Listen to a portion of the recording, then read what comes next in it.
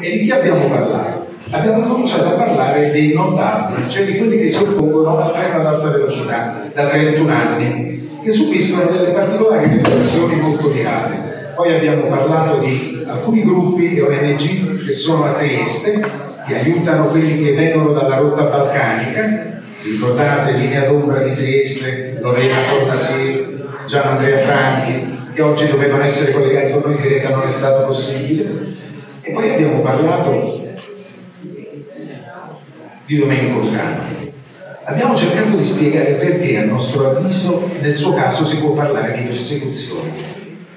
E abbiamo messo a confronto tutti questi casi, li abbiamo raccontati con dei film, li abbiamo raccontati anche con l'esperienza e con la testimonianza. E Mimo stavolta c'era, per fortuna, perché eh, ha chiuso il festival con, lunga, con un lungo racconto sulla sua condizione. Ecco, questo è un po' il nostro lavoro. Per questa sera, a conclusione di questo incontro, ci sarà un film che si chiama Il cielo sopra Riace e che è stato girato da un regista argentino che è collegato a Riace, perché è un riacese di estrazione, si chiama Damiano Levito, è un film che dura quasi 50 minuti e racconta la storia di Domenico e la storia dell'esperienza di Riace e termina con la crisi di questo modello. Quindi vi annuncio quello che verrà dopo.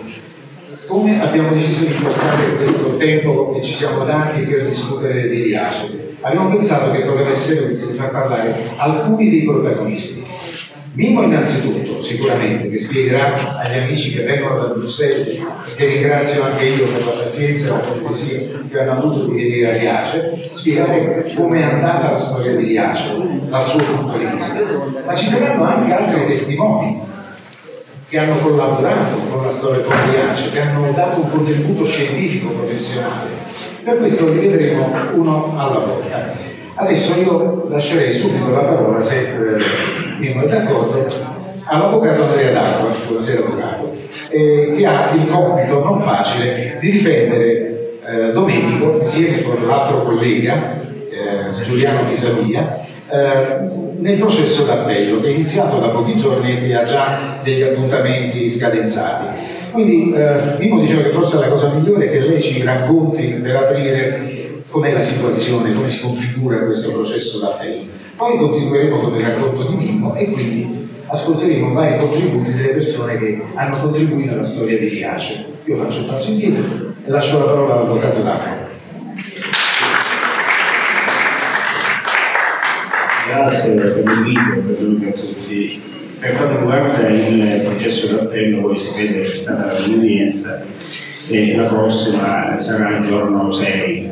Sapete bene che nell'udienza introduttiva del nostro ordinamento il, la Corte d'Appello fa la relazione rispetto a quello che è, il giudizio, quindi i relatori illustrano bene i motivi dell'appello, c'è la sentenza, viene illustrano i motivi dell'appello la questione, la, i motivi di appello che saranno di Mimmo saranno illustrati all'udienza di giorno 6.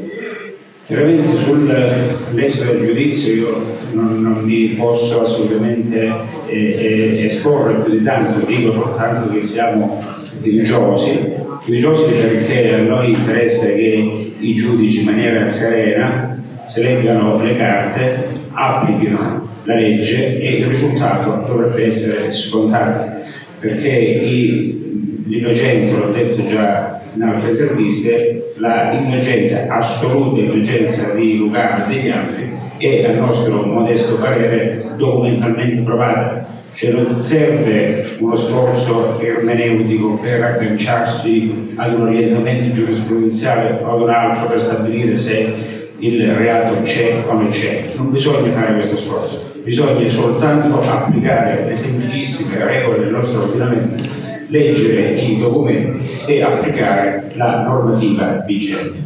Perché noi riteniamo che la sentenza di primo grado non sia una sentenza infondata, la sentenza è una sentenza aberrante, una delle poche sentenze per chi eh, segue il diritto italiano che innanzitutto ha quei contenuti denigratori rispetto alle imputati. Ricordo agli europarlamentari, voi se fate la ricerca nell'ordinamento italiano, voi difficilmente troverete una sentenza dove il Tribunale si spinge a denigrare il deputato in quel modo. Voi sapete benissimo che il Tribunale è chiamato a decidere se c'è o non c'è un reato e non è certo chiamato a stabilire proprio libero personale del soggetto. Mi riferivo ai documenti, faccio solo un esempio perché chiaramente non posso illustrare né le 700 pagine della sentenza né le 300 pagine del nostro ricorso. Vi do qualche indicazione affinché voi vi rendiate conto della ingiustizia che qui ha subito Lucani. Allora, già nella fase delle indagini abbiamo notato una, eh, una serie di anomalie. Io perché c'è un, un, ricorso in atto, io mi limito e sto attento ad usare i termini che ritengo giusti proprio per eh, evitare eh, fraintesi. Ho parlato sempre di anomalie e continuo a chiamarle anomalie, ma chi conosce il diritto sa che sono qualcosina in più di anomalie. Allora voi sapete il nostro ordinamento, il pubblico ministero ha il dovere, ha l'obbligo previsto dalla legge nella fase dell'indagine di raccogliere anche gli elementi che durante le indagini bene, emergono a favore dell'imperato. Ebbene, questo nei confronti di Lugano non è stato fatto. Anzi, vi anticipo una cosa, è stata silenziata una intercettazione telefonica eh, ambientale, voi sapete bene che gran parte della sentenza di primo grado è fondata sulle intercettazioni. Ebbene, è stata silenziata, c'era stata utilizzata dalla Procura una eh, intercettazione che se fosse stata utilizzata il Tribunale la Procura stessa avrebbero avuto la prova documentale della insussistenza di metà processo e quella è entrata adesso, abbiamo chiesto adesso alla Corte d'Appello di trascriverla, abbiamo prodotto noi una trascrizione, un parere provveditato da un tecnico proprio per farla entrare in esterno. Quella è una cosa di una gravità inaudita.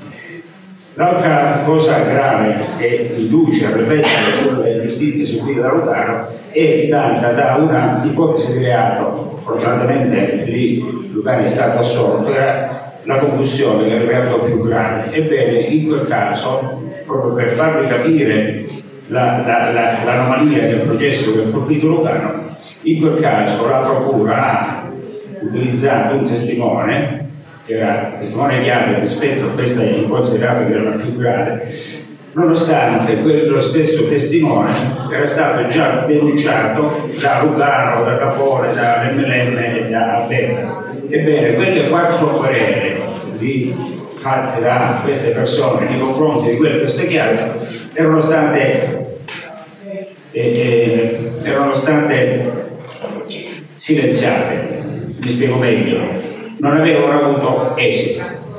E allora nel processo di primo grado noi abbiamo insistito affinché il Tribunale valutasse l'opportunità di considerare quel testimone non testimone perché era stato chiaramente denunciato dei quattro. Abbiamo fatto anche una, una eh, esposto, una sollecitazione alla Procura Generale, ebbene quelle, quelle querele saltano fuori il giorno prima dell'udienza dove dovevamo decidere la veste processuale del testimone accompagnate da una richiesta di archiviazione. Cioè la Procura fa una richiesta di archiviazione a favore del testimone chiave per quattro denunce subite, invece porta avanti la denuncia fatta da costui nei confronti di Lucano e lo sente come testimone.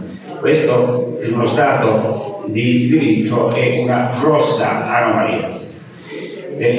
L'altra anomalia, e mi qui perché se no vi annoio, l'altra anomalia, voi sapete che il modello Oriace, il, il reato che andava a colpire il modello Oriace era l'ipotesi di peculati perché? Perché andava a colpire la struttura del modello Liace, cioè le case, il frantoio, le fattorie, i laboratori.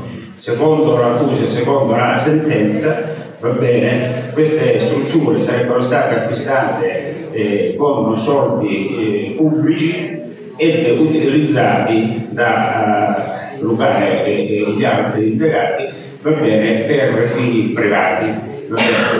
In realtà, in realtà la prova documentale che noi abbiamo prodotto, si sta parlando di prova documentale che è la prova più importante in un processo penale, Ecco, la prova documentale invece forniva la prova del contrario, cioè forniva la prova che eh, eh, erano stati acquistati con fondi eh, privati, cioè frutto delle donazioni de, di liberalità che erano state ricevute dall'associazione e utilizzati invece per i migranti. E sul punto abbiamo prodotto non solo una relazione tecnica e contabile con la spiegazione tecnica di questi numeri, ma abbiamo prodotto anche la documentazione proveniente dallo SPRAR e dall'amministrazione dove si dimostrava che quella casa oggetto di contestazione in realtà era stata utilizzata proprio per ospitare il migrante X come da richiesta dello SPRAR o dal migrante Y.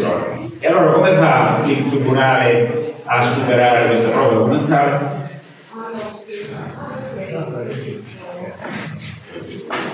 Come, come fa il Tribunale a superare questa prova documentale? Lo fa utilizzando le intercettazioni. E allora guardate che cosa ha combinato il, il Tribunale. Siccome ci sono delle intercettazioni, state attenti a questo passaggio che è un passaggio chiave che si intuisce eh, l'ingiustizia subita da Mimmo. Che fa il Tribunale? Siccome ci sono delle intercettazioni sull'argomento, da cui si evince in maniera molto chiara la liceità dell'uso di queste case, va bene, che fa il Tribunale? Dice sì, qua bisogna distinguere queste, queste intercettazioni, perché tutte quelle intercettazioni dopo il 5 ottobre del 2017, se non ricordo male, quelle là gli indagati sapevano di essere indagati e quindi stavano recitando. La, la, la intercettazione invece genuina su cui fonda la decisione del Tribunale è quest'altra che era pare luglio dello stesso anno, dove la trascrive bene, il Tribunale, dove emergerebbe, secondo la trascrizione errata, la trascrizione errata del Tribunale, viene messo in bocca a Lugano e a Capone una frase che non hanno mai pronunciato e che quella frase non è stata mai pronunciata, non lo dice la difesa di Lugano, la dice lo stesso perito trascrittore del tribunale e il perito di parte. Però il tribunale vabbè, ha utilizzato, invece ha dato un significato completamente diverso, cioè si dice che l'intercettazione, parlando del francoio e quindi di tutto il sistema, dobbiamo dire dialetto, avevo un cedicimu che servono per i migranti, cioè stavano, quindi ci dobbiamo organizzare a dire che queste strutture di quel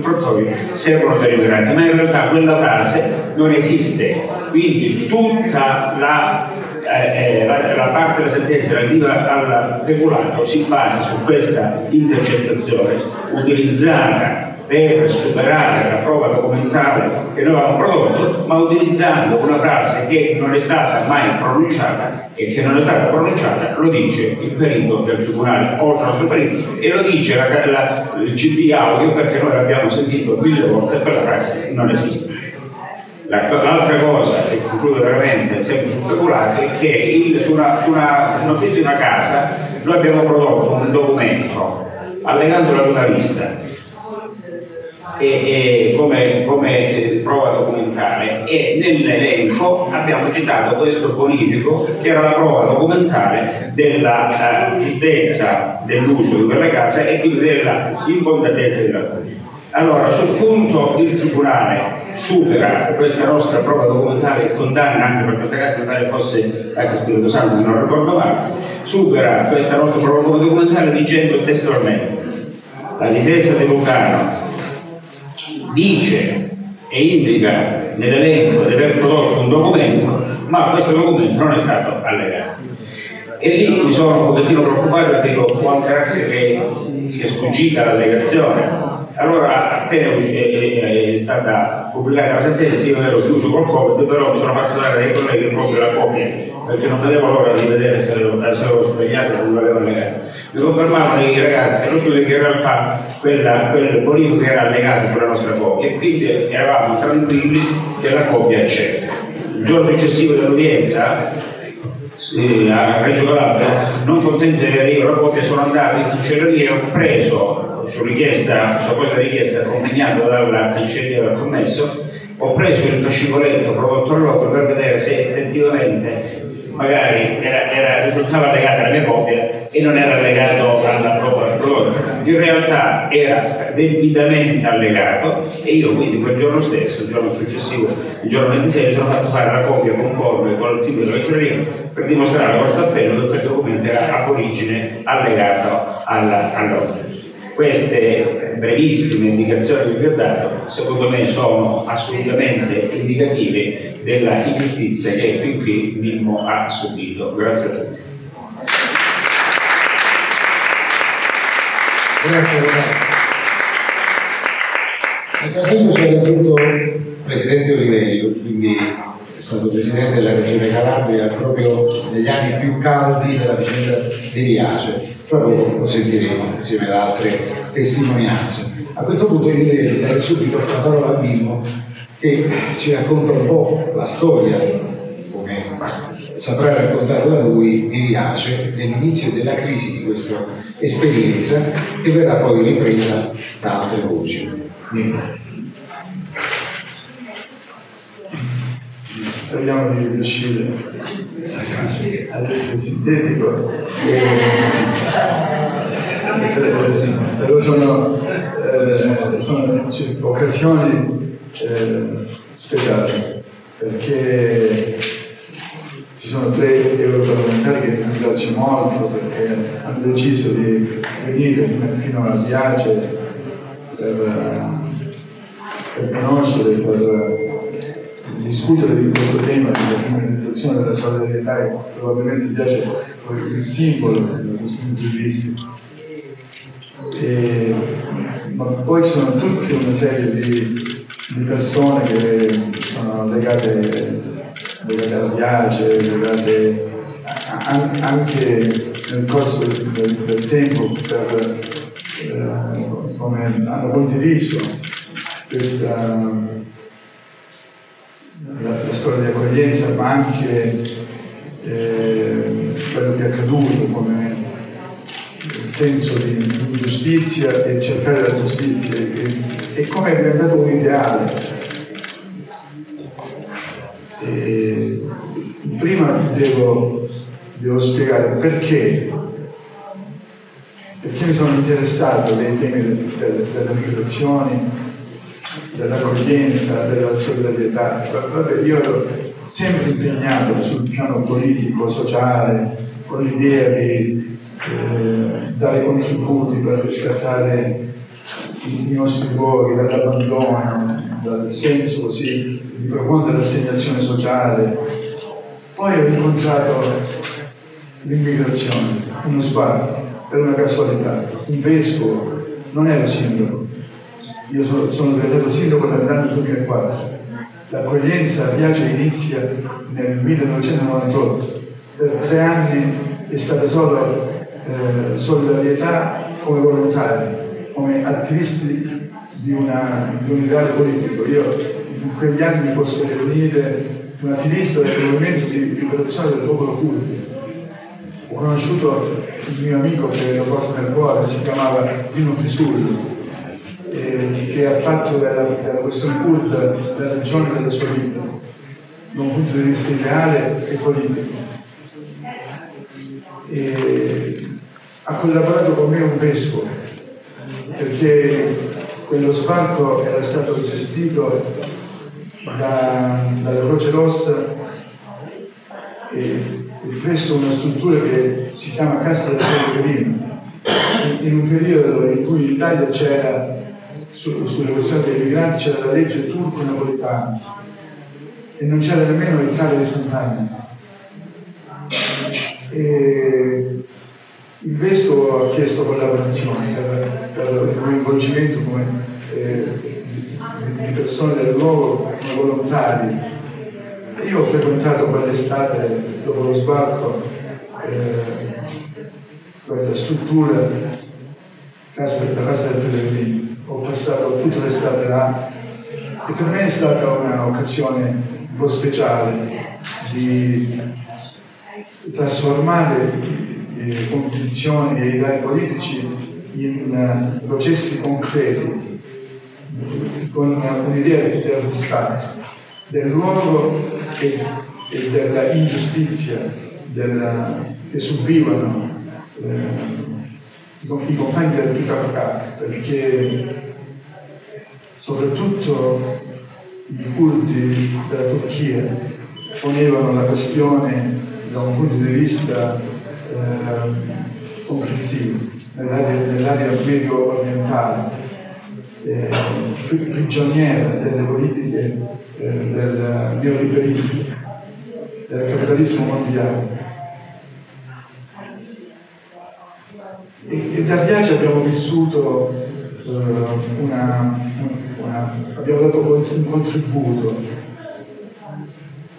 a, quell'ideale politico.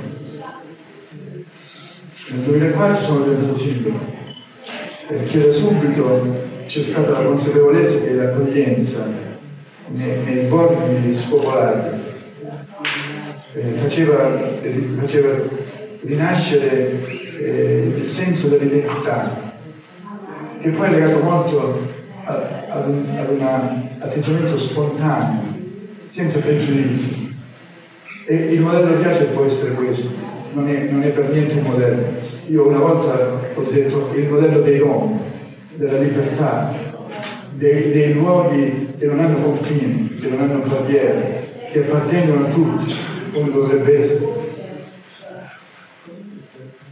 Penso che le comunità dove ci sono autoctoni sono le comunità ideali. E nel 2004 sono diventato sindaco. Nel 2009 sono stato riconfermato, nel 2014 sono stato riconfermato, nel 2016 inizia la storia giudiziaria. Rispetto ad una esperienza che intercettava anche eh, incuriosiva studiosi, antropologi, eh, sociologi, perché eh, volevano capire come mai in un piccolo luogo dove ci sono storie di emigrazione, dove non c'è lavoro, dove ci sono tutti i parametri sociali negativi, c'è anche la presenza della criminalità organizzata attraverso le sue eh, attraverso eh, fisionomie differenti, però con, sempre con eh, con l'intenzione di, di, esercitare forti condizionamenti sulla realtà sociale. E poi eh, è, è, stato un luogo che da tutti poi identificato come la punta probabilmente più avanzata delle politiche dell'accoglienza, credo in Italia. Ecco, un luogo di emigrazione che diventa un luogo di immigrazione, dalle partenze agli arrivi, senza risorse alcune volte, senza, senza, solo con eh, la forza di assecondare un, un ideale di accoglienza, di solidarietà, di fratellanza. E quindi si sono costruiti i presupposti di e che tutti per identificare quello che avveniva hanno detto il modello piace. Questo è stato il modello piace. Ovviamente essere sindaci o interessarsi di politica significa avere degli ideali, credo se no non ha senso. Ed erano gli stessi ideali che davano entusiasmo al mio agire anche a livello istituzionale. Per me non c'è stata una, una fase prima di essere sindaco e dopo. È stato un, un fenomeno, anche questo, vissuto in maniera del, del tutto spontanea, naturale, come un percorso eh, che fa parte de, degli impegni che, che poi prescinde dall'essere, da, da, dal ricoprire un ruolo, come adesso. Io adesso sono un cittadino del villaggio globale di Riaggio, quello che ancora rimane, quest'aurea di accoglienza, di solidarietà che sto cercando di portare avanti, a prescindere dai ruoli. Abbiamo il comune contro, abbiamo la regione contro, abbiamo, abbiamo una cultura in Italia che dal 2015-2016 in poi, gli anni in cui comincia la delegittimazione di quello che avviene al viaggio. Eh, una cultura in Italia che è una deriva proprio della destra, della destra fascista, della destra reazionaria, che vede nell'immigrazione tutti i mali del mondo. Nel 2016 comincia questo, uh, questa deriva giudiziaria. Io voglio, voglio, voglio però eh, scendere nel dettaglio perché, perché potrebbe apparire come eh, potrebbe, potrebbe, potrebbe apparire come se io voglio trovare degli alibi, costruire delle giustificazioni rispetto a, a quello che mi è accaduto come nascondersi dietro grandi ideali, perché mi sono occupato di tutto quello che ho detto. Allora andiamo, entriamo nel merito, reato per reato. Io, meno male che c'è il mio avvocato. Allora, che cosa, che, che, che cosa, quali reati hanno determinato questa condanna di 13 anni e 2 mesi? sono stato condannato di primo grado per associazione a delinquere. Quando abbiamo, abbiamo chiamato i testimoni, la difesa con l'avvocato, lui mi ha chiesto quali sono state le persone vicine a te, vicino, che hanno contribuito a determinate e mi sono ricordato la prima persona che ha contribuito con me, che mi ha chiesto una, una, una collaborazione per la gestione di, di, di quello sbarco dei profughi curdi, il vescovo di Roma, all'epoca si chiama Monsignor Brigantini. Non volevo chiamarlo, non volevo, non volevo osarmi a chiamarlo, perché avevo idealizzato molto suo, della sua persona, aveva dato eh, eh, una, una, una, forte profondità eh, alle mie convinzioni ideologiche, ai, agli ideali. E, e, infatti lui l'aveva, proveniva dalle comunità di base, è un, un ex decreto operaio e io avevo sempre pensato che gli ideali della, della sinistra che una volta veniva identificata sinistra extraparlamentare. Sono stato un militante di, di quell'area. Non voglio dire con orgoglio, senza nessuna incertezza, anche oggi per me dentro la coscienza è così. Ma Brigantini era legato alla teologia della liberazione e anche il messaggio evangelico e il messaggio dell'utopia sociale hanno questa convergenza, hanno un orizzonte che è molto, molto simile. Sicuramente eh, razzismo, fascismo, eh, ordini razziali, egoismi non vanno verso la direzione dell'utopia sociale, vanno verso la costruzione di una società disumana.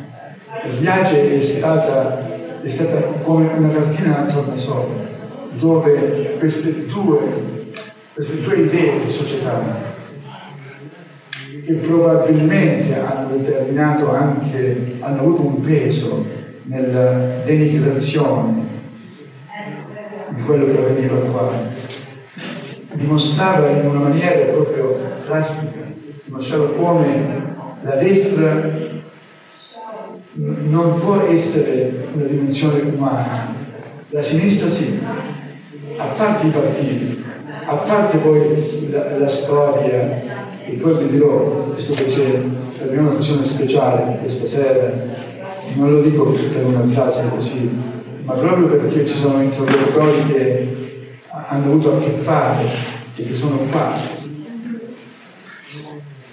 E Bragantino è venuto a fare il testimone, alla fine ha detto sì, ma ha detto un sì con una forte convinzione. Me l'ha detto Andrea, l'ha chiamato lui, io non, non avevo il coraggio di chiamarlo, ma non solo è venuto a fare il testimone, è ritornato e ha detto se ha fatto la situazione delinquere, l'ho fatta anche io. Abbiamo, io sono un altro della situazione delinquere, non è stato condannato, è stato. ma poi l'ho fatta la situazione delinquere con, con tantissimi interlocutori, perché questo fenomeno sociale dell'accoglienza è stata un'accoglienza plurale, questo termine l'ha insegnato Giuseppe Paranello, che è un altro delle persone che hanno avuto a che fare con, con la storia. Plurale significa che io ho collaborato con il dottore Napoli, ho collaborato con il presidente Oliverio, ho collaborato con Maurizio, ho collaborato con tantissime persone, magari tutti, tutte con, con, con intenzione come la mia, di immaginare un mondo più umano, migliore, senza barriere, senza confini, di rispetto dei diritti umani. Questo è che muove l'interesse per la politica. Senza questo la politica che cos'è? Quale entusiasmo ci può essere dentro che ti, che ti porta ad avere impegni, a sacrificare, a fare? Anzi, quando è così, manco ti accorgi degli impegni e tutto sembra un fatto naturale.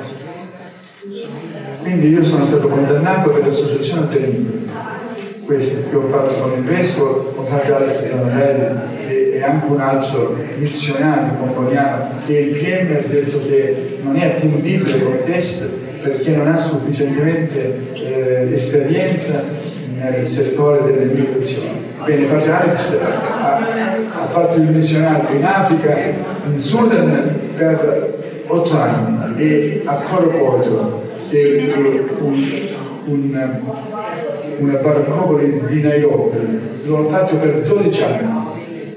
Lui veramente mi viene, mi viene la pelle d'oca pensare che Alex è stato definito che non attendibile perché anche il PM aveva tentato di dire il vescovo non è attendibile perché lui il, il periodo che è stato, è stato vescovo non corrisponde con, con l'inizio e con la fine della storia giudiziaria. Quindi, ma il vescovo ha detto che eh, l'ha invitato a leggere il libro di Papa Francesco e l'enciclica Fratelli Tutti, ma ha detto tante cose con eh, l'ex sindaco abbiamo fatto insieme tanti anni fa. Quindi assoluzione di Rinda. Poi sono stato condannato per abuso d'ufficio. Che cos'è l'abuso d'ufficio? Questo è un reato di solidarietà. Io non voglio, non ho voluto mai ricorrere a queste, queste parole, anche oggi, che il tema e la presenza delle, dei, dei tre europarlamentari di tutte le persone che sono arrivate in questi giorni a Piace era molto legato a questa criminalizzazione della solidarietà che anche c'è stata. Io non ho voluto mai ricorrere a questo, non, non ho voluto mai costruire un alibi. Analizziamo reato per reato. Sono stato condannato perché ho trattenuto i migranti più dei sei mesi consentiti dalle famose linee guida ma allora anche adesso stiamo facendo lo stesso.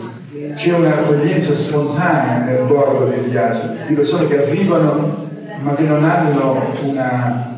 che non, che non arrivano perché, perché rimanda il Ministero degli Interni o la prefettura, arrivano con le loro gambe, donne, bambini che non hanno dove andare. Nel villaggio dell'accoglienza trovano ancora oggi, senza progetti, attraverso una rete internazionale di solidarietà riusciamo a dare risposte E questo per me è un fatto importantissimo sul piano politico. E dicevo prima che prescinde dai ruoli, non sono più singoli. Il Presidente Olivetti non è più Presidente, e sono le cose della vita, così è inevitabile. Sono stato condannato per abuso d'ufficio perché ho trattenuto i migranti più dei sei mesi consentiti dalle proposte di guida. Li chiamano il lungo permanente. Guardate che terminologia che si sviluppa, clandestini, lungo permanente, non aventi diritto, tutte cazzate che scrivono e le, tutto, tu, tu, tutte le, le norme sul, sul, sull'immigrazione sono norme restrittive mai fatte per favorire le persone, per rispettare chi è in fuga dalle guerre e non solo, anche dalla, dalla povertà, dalla miseria. Sono stato condannato per truffa aggravata, per i non aventi diritto, come io avrei determinato una, un costo maggiore rispetto ai 35 euro pro capite giornalieri. In realtà la truffa la fa lo Stato e nel momento in cui tentano di cacciare e di mettere le persone nella strada, perché vuol dire quello un fallimento anche sul piano economico. Non ci vuole molto ad essere economisti a, a, capire questo, perché tu quando dopo sei mesi non hai raggiunto, devi cacciare le persone, è un fallimento quel progetto da tutti i punti di vista, compreso quello economico. Sono stato condannato per peculato, ve l'ha spiegato Andrea, tutto quello che abbiamo costruito nel borgo rurale è stato un tentativo di rispondere alle esigenze di integrazione istintivo, non eh, studiato o costruito seguendo una strategia così, è stato è come se l'esigenza della quotidianità, del dopo progetti, di dare opportunità.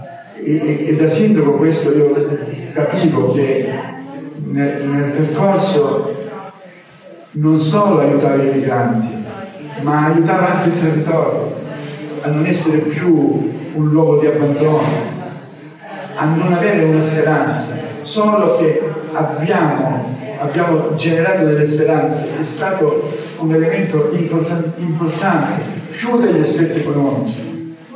Ci può essere qualsiasi ricchezza, ma quando non c'è speranza, quando il luogo diventa un luogo di degrado, ma non ha senso la ricchezza in quel modo. È meglio non avere nulla, ma avere la speranza. Quello che abbiamo fatto. Viaggio è stato un luogo che ha, che ha dato speranza, ma ne ha ricevuto dalle persone che sono arrivate. Le persone sono sempre qualcosa di speciale, di qualunque razza del mondo. Non è vero che sono solo un problema, è una narrazione anche sul piano mediatico pericolosa, quella che ti farci impaurire dalle, dalle altre persone, dal rapporto umano nella Calabria, questo veramente è un tratto che lo voglio rivendicare, soprattutto la Calabria, la chiamano la Calabria ulteriore, la fierezza di incontrare l'altra persona, non il pregiudizio, non così, ma di guardare negli occhi. Questo è l'orgoglio della nostra terra. Io quando ero lontano avevo questo orgoglio vedevo quello che era attorno a me, dove tutto un sospetto, dove tutto è un'idea di approfittamento, dove tutto diventa una rivalità. Ma che senso ha la vita? Ecco, il modello Riace è stato tutto questo, dentro una speranza di, io dico, di una nuova umanità, come dovrebbe essere. Sono stato condannato per, attenzione, peculato di tutte queste proprietà. Io non sono proprietario per niente l'avvocato ha detto, si sono scandalizzati, basta guardare, appartiene alle associazioni. Addirittura ho ricevuto un premio quest'inverno in Svizzera e io ho continuato istintivamente, senza, eh, anche, anche senza nessun voler dimostrare, non l'ho fatto per questo. Questo palazzo ci ha dato l'unice, ma era un po' malandato. Io ho utilizzato dei soldi, mi hanno dato, mi hanno dato un premio nella Svizzera, proprio all'indomani della sentenza. La sentenza è stata pesante sul piano, devo dire, non, non solo eh, degli anni che mi hanno, mi hanno messo per la pena, ma sul piano morale, su, in tutti i modi. Però, devo dire, ha generato degli effetti positivi. Non ha fatto cadere nell'anonimato questa storia. Addirittura c'è uno che io sono legato, come c'era un pensiero che si chiama Adriano Sofri, che ho incontrato a Firenze e ho detto, vedi che, vedi che quella è una sentenza suicida, che ti, cerca di aiutarci, si è messo di, di mezzo pure lui, condividiamo gli stessi ideali, non è un fatto di età o, di, o dei luoghi dove siamo.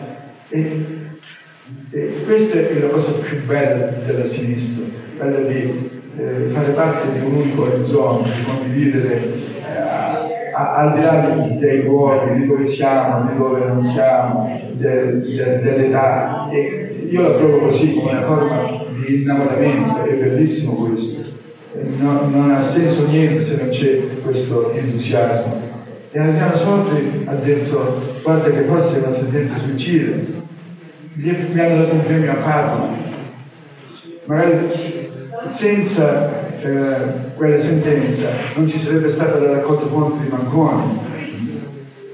Io non sono, non sono, mai riuscito ad avere rancori per, per il giudice che mi ha condannato, perché anche mi, mi aveva revocato le misure cautelari, mi aveva, mi aveva, dato la possibilità di ritornare ad essere una persona libera, perché io, io ero l'obbligo di non dimora a Piace.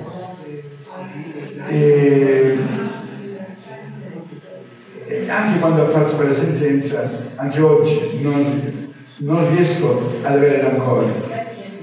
Anche da questo punto di vista credo che eh, è, è, importante non avere vendette, non avere rancori. Non... È andato così, io non sono più speciale di nessuno, mi hanno condannato, adesso spero che questo, questa condanna venga ribaltata, c'è sempre la speranza. Ma quante cose positive ha generato questa sentenza?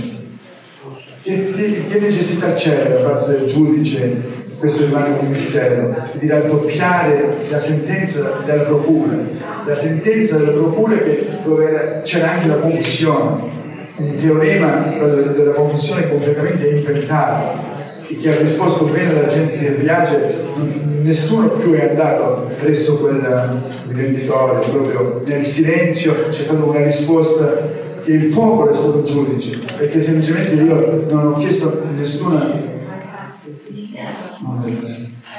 Non, guarda, non lo guarda, guarda, senza luce non posso perché eh, un attimo di pazienza. Sì, sì, che bello.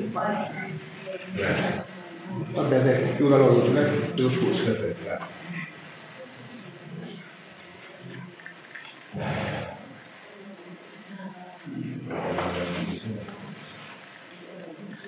Senza, senza la confusione, invece di, di, di sette anni e 11 mesi, questa è stata la richiesta da parte della Procura.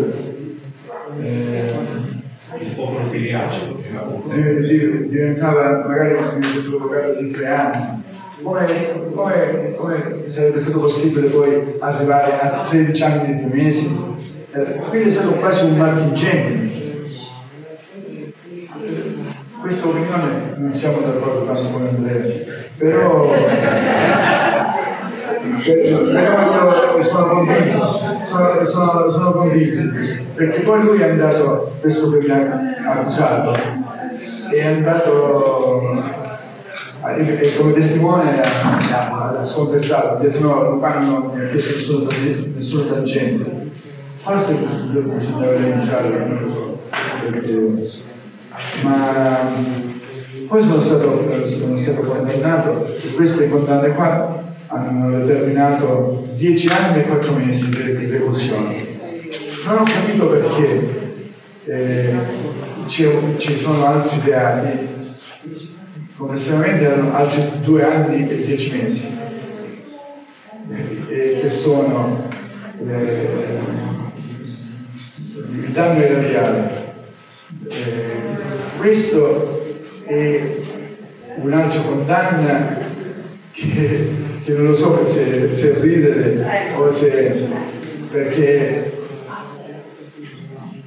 perché in pratica eh, ho fatto delle carte d'identità per una famiglia di sudanesi ero diventato responsabile del, dell'ufficio anagrafe del mio comune che era andato in indicato di prima, e non mi sono fatto pagare 5 euro e 35 centesimi.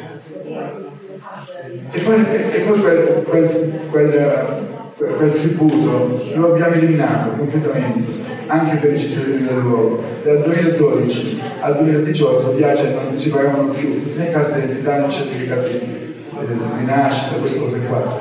Forse avrei dovuto eh, formalizzare, eh, fare la verifica di istituto comunale, però io il fatto che più mi triste è che le carte d'identità ho pagato con i miei soldi, alla prefettura li, li compravo con i soldi, non mi pagavo nemmeno, 5 anni nemmeno ho portato al comune di Viace una tazzina di caffè come rimborsi spesi e mi hanno condannato. Il premio è stato fondamentale, cioè, non lo so se un anno, due anni. Poi mi hanno condannato per i rifiuti. E qua voglio. Questo è un argomento che merita una, una, una trattazione particolare, poi, più. Allora, sono diventato sindaco nel 2004 ogni anno uno dei servizi più importanti è quello della, della, della, della raccolta dei rifiuti, la cosa differenziata, della terza urbana. Ogni anno, quando gli uffici si preparavano per, per la gara di appalto, sistematicamente rimaneva aggiudicataria sempre la stessa ditta, non partecipava nessuno, come holding che gestiscono eh, 50-60 comuni, ma la, la, qualità del servizio, soprattutto nelle stagioni estive, molto precaria. Allora ho pensato, eh, su questo abbiamo fatto un ragionamento con, con, con un ex assessore del comune di Porgello, che era più esperto di me nel settore del, così, della, dei rifiuti, del, del, riutilizzo dei rifiuti.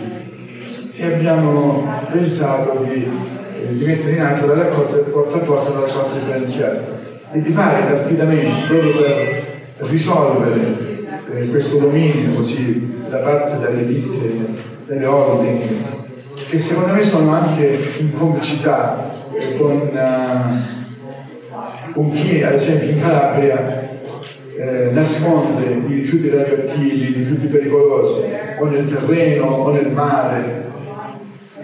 E abbiamo fatto l'affidamento a due cooperative del luogo, la cooperativa eh, di Aquiloni e la cooperativa Ecoviaggi. Le cooperative erano costituite da disoccupati del luogo e rifugiati, sempre con quel criterio di essere un'opportunità sia per per i cittadini rifugiati sia per, per le persone del luogo. E mi hanno condannato anche qua per, eh, per turbativa d'asta. Questo è l'elenco delle mie condanne. Poi il giudice ha ammesso che ho avuto una giustizia politica e forse qua non si sbaglia.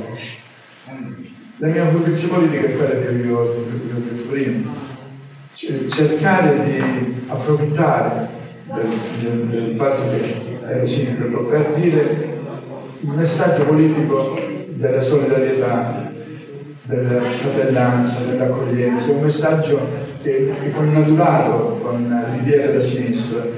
Il messaggio della destra è un messaggio rappresentato da quello che puoi imitare da quegli anni di deriva, con di sicurezza, con, con l'avanzare del, di, una, di, un'idea egoistica del, della società. Vengono prima gli italiani, vengono, hanno fatto in modo che la, gli, ultimi, gli ultimi decenni della nostra vita sono stati decenni tristi di violenza, di odio, di guerre, che ha questo, così si genera, così l'egoismo è alla base, una visione proprio eh, di rivalità, di, di, praticamente la narrazione mediatica in Italia eh, addirittura era diventata eh, ossessiva. Anche le parole, emergenza, invasione, eh, prima gli italiani. Io vi dico una cosa, quando mi stava accadendo tutto questo, questo tentativo che vedevo qualcosa sul viaggio che tutto ad un tratto in quegli anni diventa come una forma, come un peso. Sono, sono andato a trovare come sindaco il presidente della regione Calabria, ho chiesto un appuntamento alla sua segreteria, era, ho atteso tutto il giorno, è serata sera, il presidente era, quando l'ho incontrato aveva la mano così, era già stanco, magari ha detto ma cosa vuole adesso questo sindaco? E all'inizio non mi ha dato quasi, alzavo la testa, poi a un certo punto ho, ho, ho capito di aver intercettato la sua attenzione, questo per me era importante. Poi siamo messi a parlare, mi ha detto che perché io sapevo che lui, l'ex ministro degli interni, era, avevano avuto militanza nello stesso partito, perché il nostro corregionale. E mano a mano il Presidente Oliverio ha praticamente l'ho visto che dentro, eh, non lo so se per un ideale politico o come una persona della nostra terra, ho visto che fa come prevalere eh, un atteggiamento di, di, comprensione, di umanità. E poi è stata una scelta definitiva, quella di... Io ho pensato, ma, ma il Presidente ha scelto di stare non dalla parte, ma come Presidente della Regione ecco il vero messaggio politico del Presidente Olivetti, come Presidente della regione, non era ultimo arrivato, poteva essere il primo, avere, avere, a che fare con poteri che io non conosco, poteri. ma lui ha, scelto di stare dalla parte di chi non ha poteri, di persone come me, di non essere... E dall'altra parte del telefono, io inavvertitamente, lo posso confermare, ho ascoltato Mario, si diceva Migneti, vedi che viaggio non ti porta il consenso, si doveva votare perché doveva arrivare il 4 marzo del 2018. Alla fine il Presidente Olivetti si è schierato, mi ricordo che c'è stato un tentativo una sera proprio di cacciare le persone dal viaggio. Ed c'era anche un bambino di, di sette giorni, Gabriele, il Presidente ha chiamato in prefettura e ha detto attenzione se domani andate con i pullman a Viace io mi, mi, mi metterò davanti al pullman e poi alla fine, perché mi mancava il timbro, il timbro è una firma su una convenzione, allora quel prefetto, quel prefetto che ha avuto un ruolo centrale nella denigrazione del, di Riace e, e, e, e, poi ha avuto la promozione, la promozione da, dal ministro, dall'ex ministro degli come capo dipartimento. E poi non solo, anche la sua moglie è venuto fuori che ha avuto storie di collaborazione con i caporali, con chi nel, nel, nel, vicino al Borgo Mezzanone erano, facevano questo tipo di, di, di, di, attività. Lo stesso prefetto che era formalmente, eh, formalmente responsabile del centro di San Ferdinando, l'altro volto della Calabria, il volto delle barcone, piace San Ferdinando, la scelta, lo Stato, i poteri forti, il tentativo di questo tentativo di criminalizzazione. E praticamente io penso, senza voler creare albi, ve l'ho spiegato già quali sono stati i motivi che hanno determinato la condanna. Devo dire che queste parole di atteggiamento, di queste non ho mai parlato con l'avvocato, ma nemmeno se devo fare due giorni di galera io sarei pronto a rinunciare a, a, a, a niente di quello che ho fatto. Io non rinnego nulla, rifarei tutto con maggiore convinzione.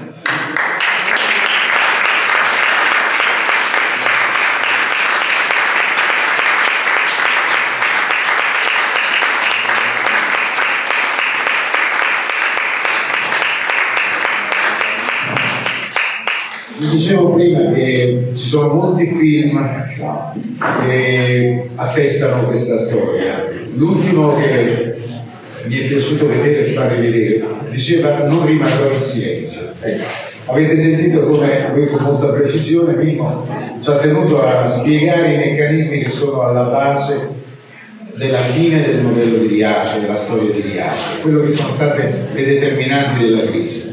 Quindi eh, credo che ce ne sia abbastanza per scrivere ancora molte pagine. Io, siccome è stato più volte citato, eh, lascerei adesso la parola, ovviamente ci sono altri 4-5 interventi, quindi chiederei di essere ragionevolmente sintetico per dar modo anche ai nostri ospiti che sono fuori programma, per così dire, sono, ci stanno ascoltando, di intervenire nella discussione, ma credo che sicuramente sia il momento di sentire il Presidente Rivetti. Prego. Ma io sarò, cercherò di essere brevissimo per consentire a tutti quanti di intervenire e soprattutto di, a tutti voi di seguire gli interventi.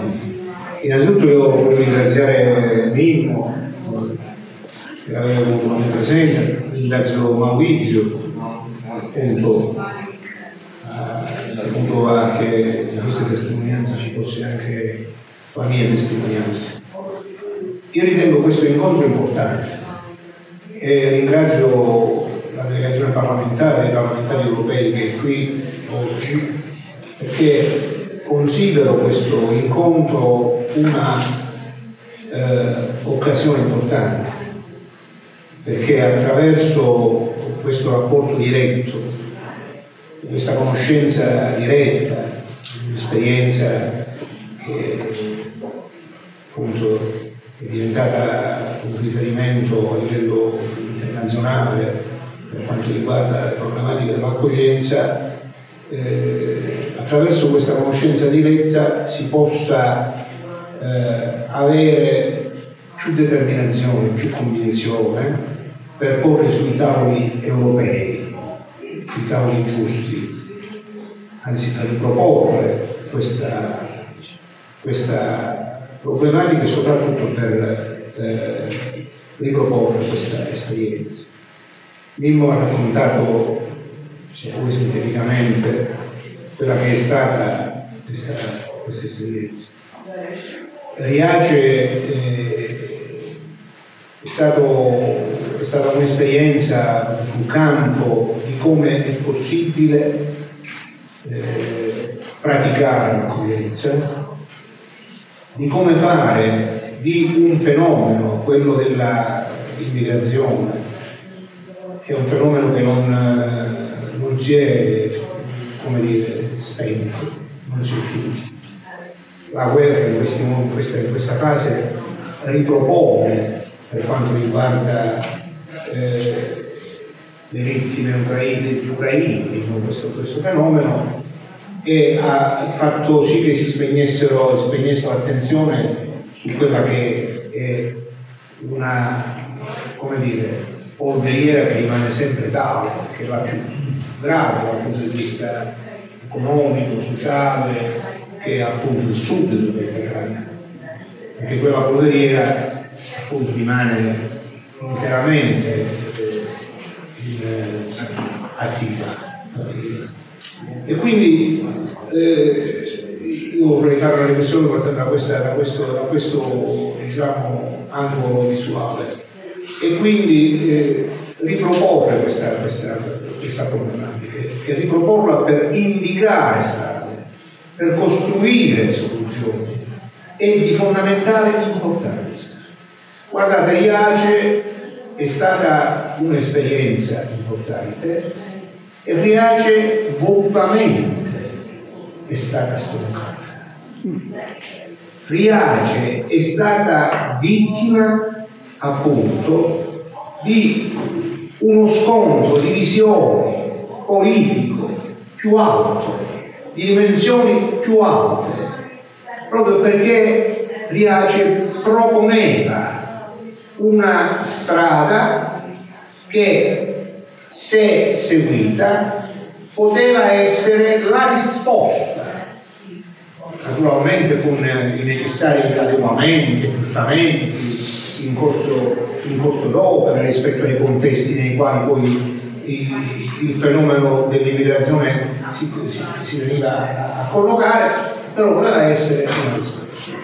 E naturalmente la eh, cultura dominante, una eh, cultura che pensa di risolvere eh, dire, i problemi sul terreno della comunicazione e della suscitazione di paure, della suscitazione di fare di un fenomeno appunto un eh, tormento alimentatore di paure, perché attraverso l'alimentazione delle paure si possa poi costruire, si possano costruire blocchi eh, di consenso e si possa costruire soprattutto un orientamento nei governi, nelle risposte, nelle risposte dei, dei governi. Parliamoci molto chiaramente. Riace è stata per questo strozzata ed è stata strozzata ricorrendo, e qui la mia testimonianza, ricorrendo alla eh,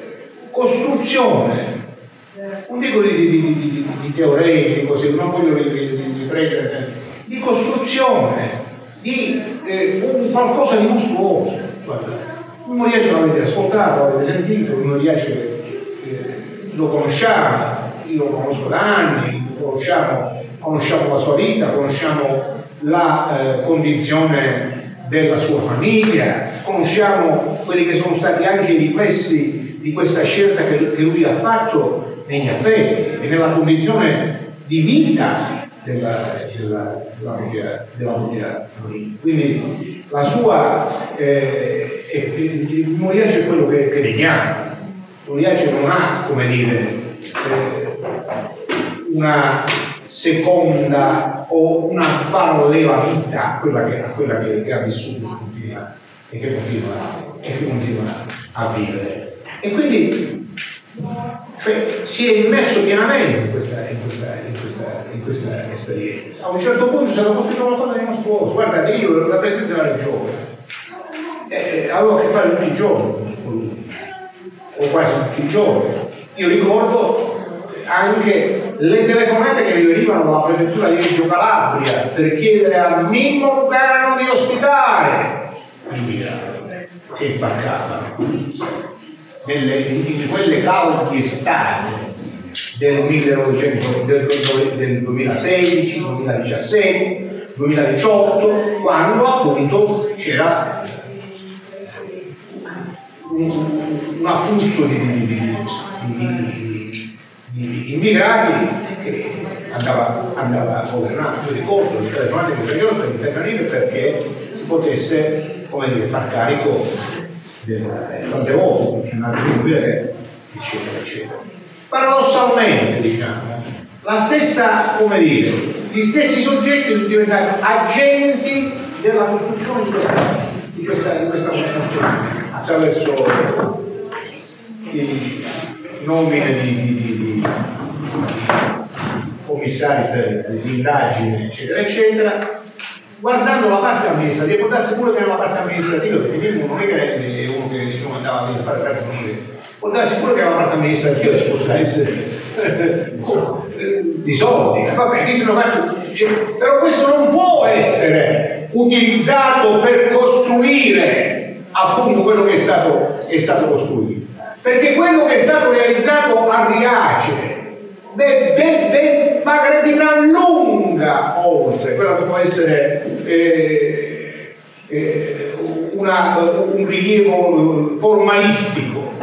Purtroppo l'Italia ha una costruzione praticamente, soprattutto nella, nella parte amministrativa, di formalismi che eh, annullano la sostanza spesso, che anzi la mortificano la sostanza spesso, il prevalere di questi, di questi, di questi globalisti. Ma probabilmente qui eh, è stato costruito come è stato costruito, dal punto di vista giudiziario, con eh, le cose che quasi sappiamo, come è stato ricordato, io ho ricordato prima che, che da minimo, da minimo. Adesso si è arrivati persino a raddoppiare la pena rispetto alla richiesta, alla richiesta del, del, pubblico ministero, insomma, è proprio cose che, non esistono in nessuna parte del mondo, diciamo, nella storia diciamo così, di questa, di questa manco nel Medioevo avvenivano queste, queste cose, perché a riprova del fatto che bisognava stroncare quel tipo di, di percorso, bisognava bloccare quella, quella strada.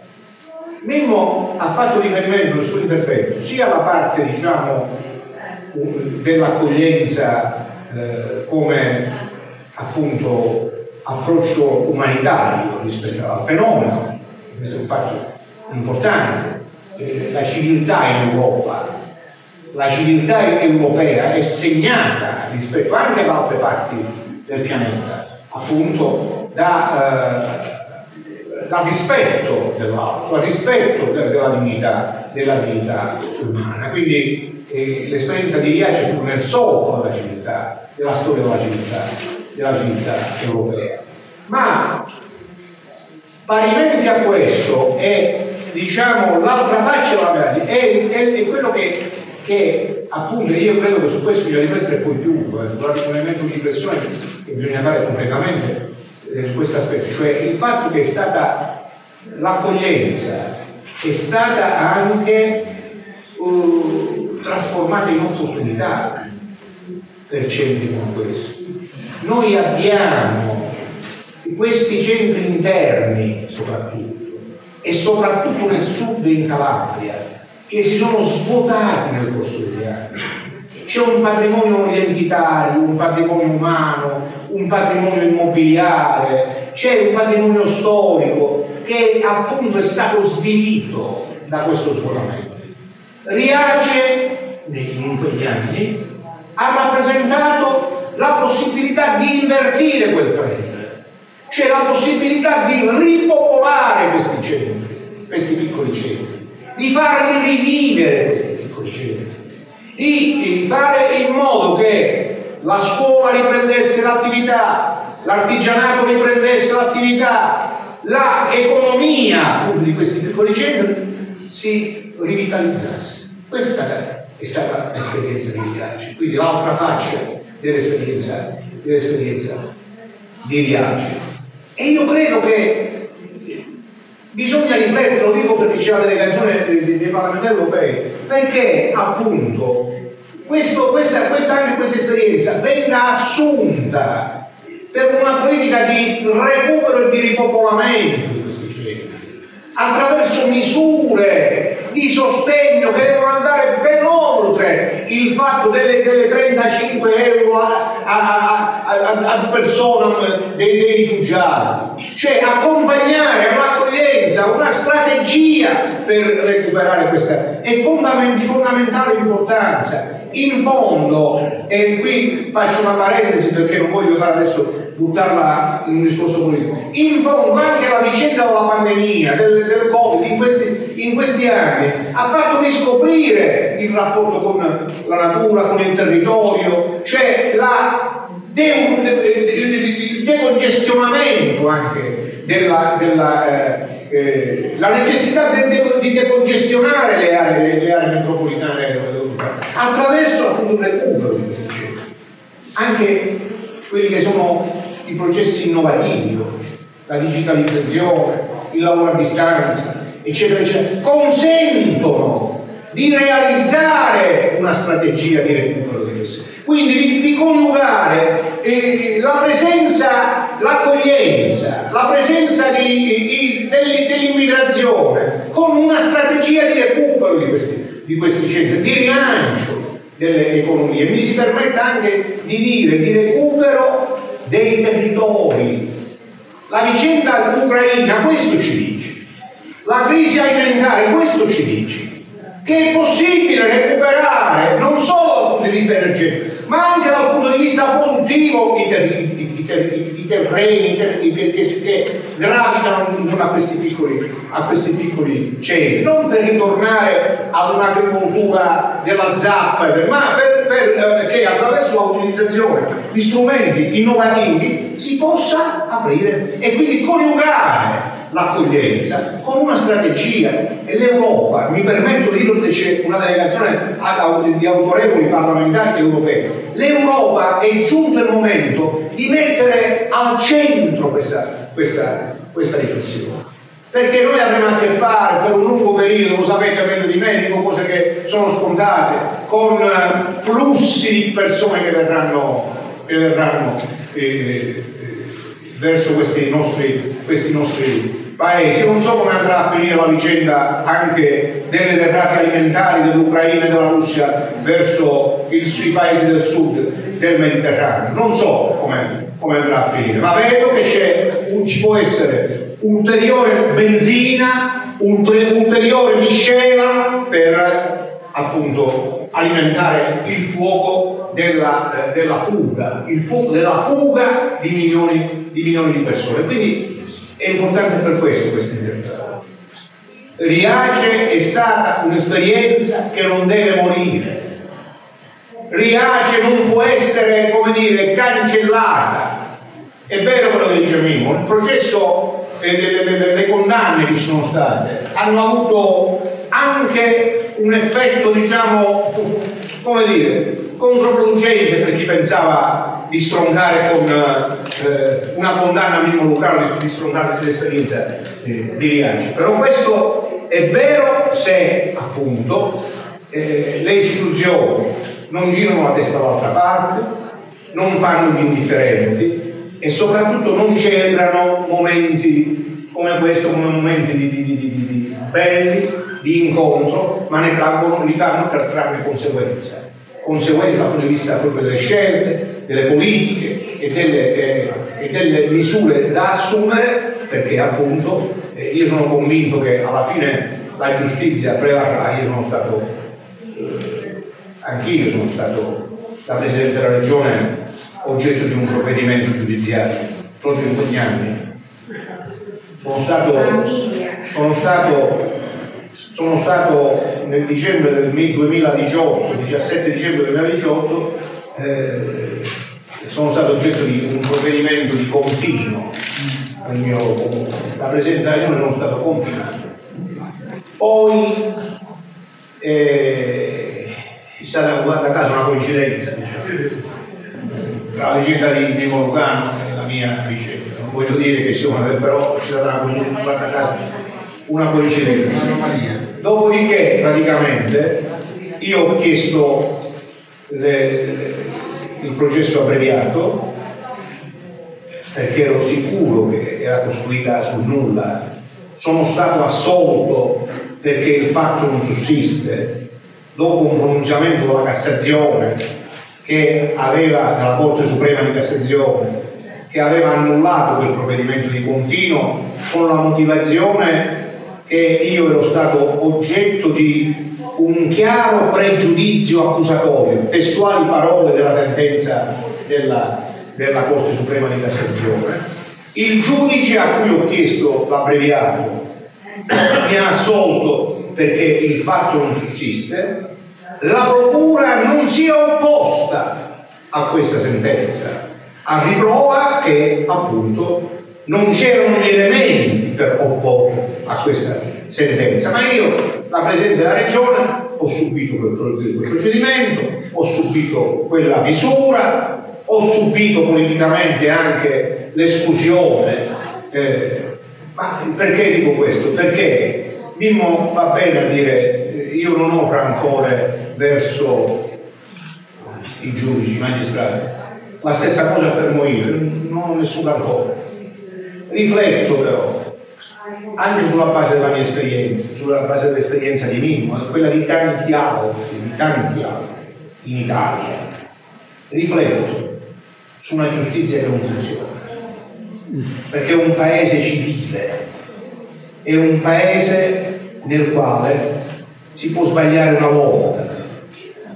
E quando si sbaglia si deve rendere conto, perché così come rende conto un medico in un ospedale, fa ricorso a un'assicurazione, un medico in ospedale, quando sbaglia, così come eh, in, qualsiasi, in una qualsiasi professione bisogna rendere conto quando si sbaglia, anche un magistrato che sbaglia deve rendere, deve rendere conto, perché questo è un principio appunto.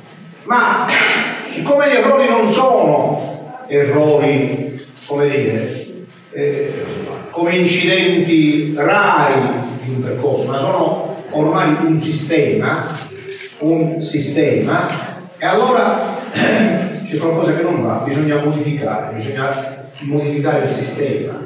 Niente rancori, ma necessità di modificare un sistema che è un sistema marcio, perché appunto la sfera eh, dei poteri deve avere un giusto equilibrio. E la vicenda di Riaci, mi permetto di dire, anche la mia, perché io parlo con le sentenze che sono ma la vicenda di Riaci, che è in attesa di sentenza definitiva, è una vicenda che reclama giustizia, reclama giustizia, oltre a riproporsi come, eh, come prospettiva per dare risposte concrete sia sul piano umanitario, sia sul piano economico e sociale, per governare i fenomeni. I fenomeni non si, non si contrastano con le baionette, fenomeni come quelli della, delle migrazioni, si, si, si governano e Riace è un esempio di come si può governare questo fenomeno dando risposte positive in termini di civiltà e in termini di rispetto dei diritti umani. Grazie.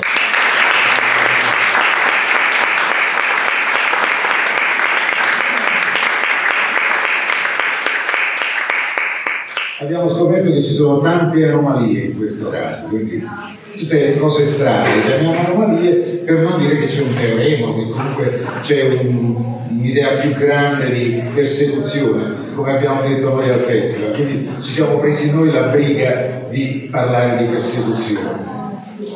Io ho una sensazione, onestamente, lo dico un istante prima di lasciare la parola al prossimo testimone, che in Italia, ma anche in Europa, più che la criminalizzazione della solidarietà, si stia adoperando in molti punti del nostro continente con una criminalizzazione del dissenso, è un fenomeno politico grave, perché eh, se guardiamo le estremità eh, dei comportamenti politici, là dove ci sono i gruppi di resistenza più forti, e uno per tutti lo ripeto, quelli che si oppongono al treno ad alta velocità in Piemonte, 31 anni di resistenza non sono un fenomeno normale, sono qualcosa che andrebbe guardato con un occhio particolare. L'istituzione di una pretura che si occupa esclusivamente di queste forme di protesta eh, sono segnali inquietanti.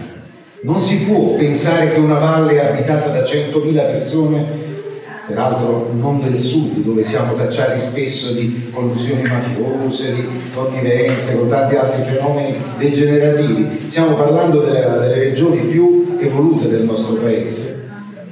Si possa pensare ad un fenomeno del genere? Eh? Ricordando però il Monte, anche qua, che con la Val hanno sempre fatto la stessa.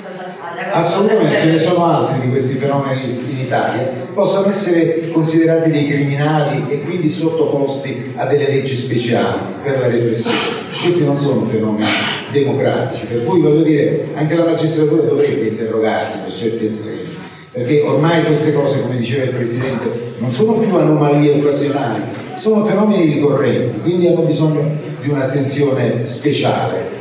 Ecco, quindi su questo diciamo, dovremmo non abbassare la guardia, continuare a guardare il nostro Paese con un minimo di preoccupazione, perché sono forme degenerative che poi possono indurre eh, fenomeni più grandi.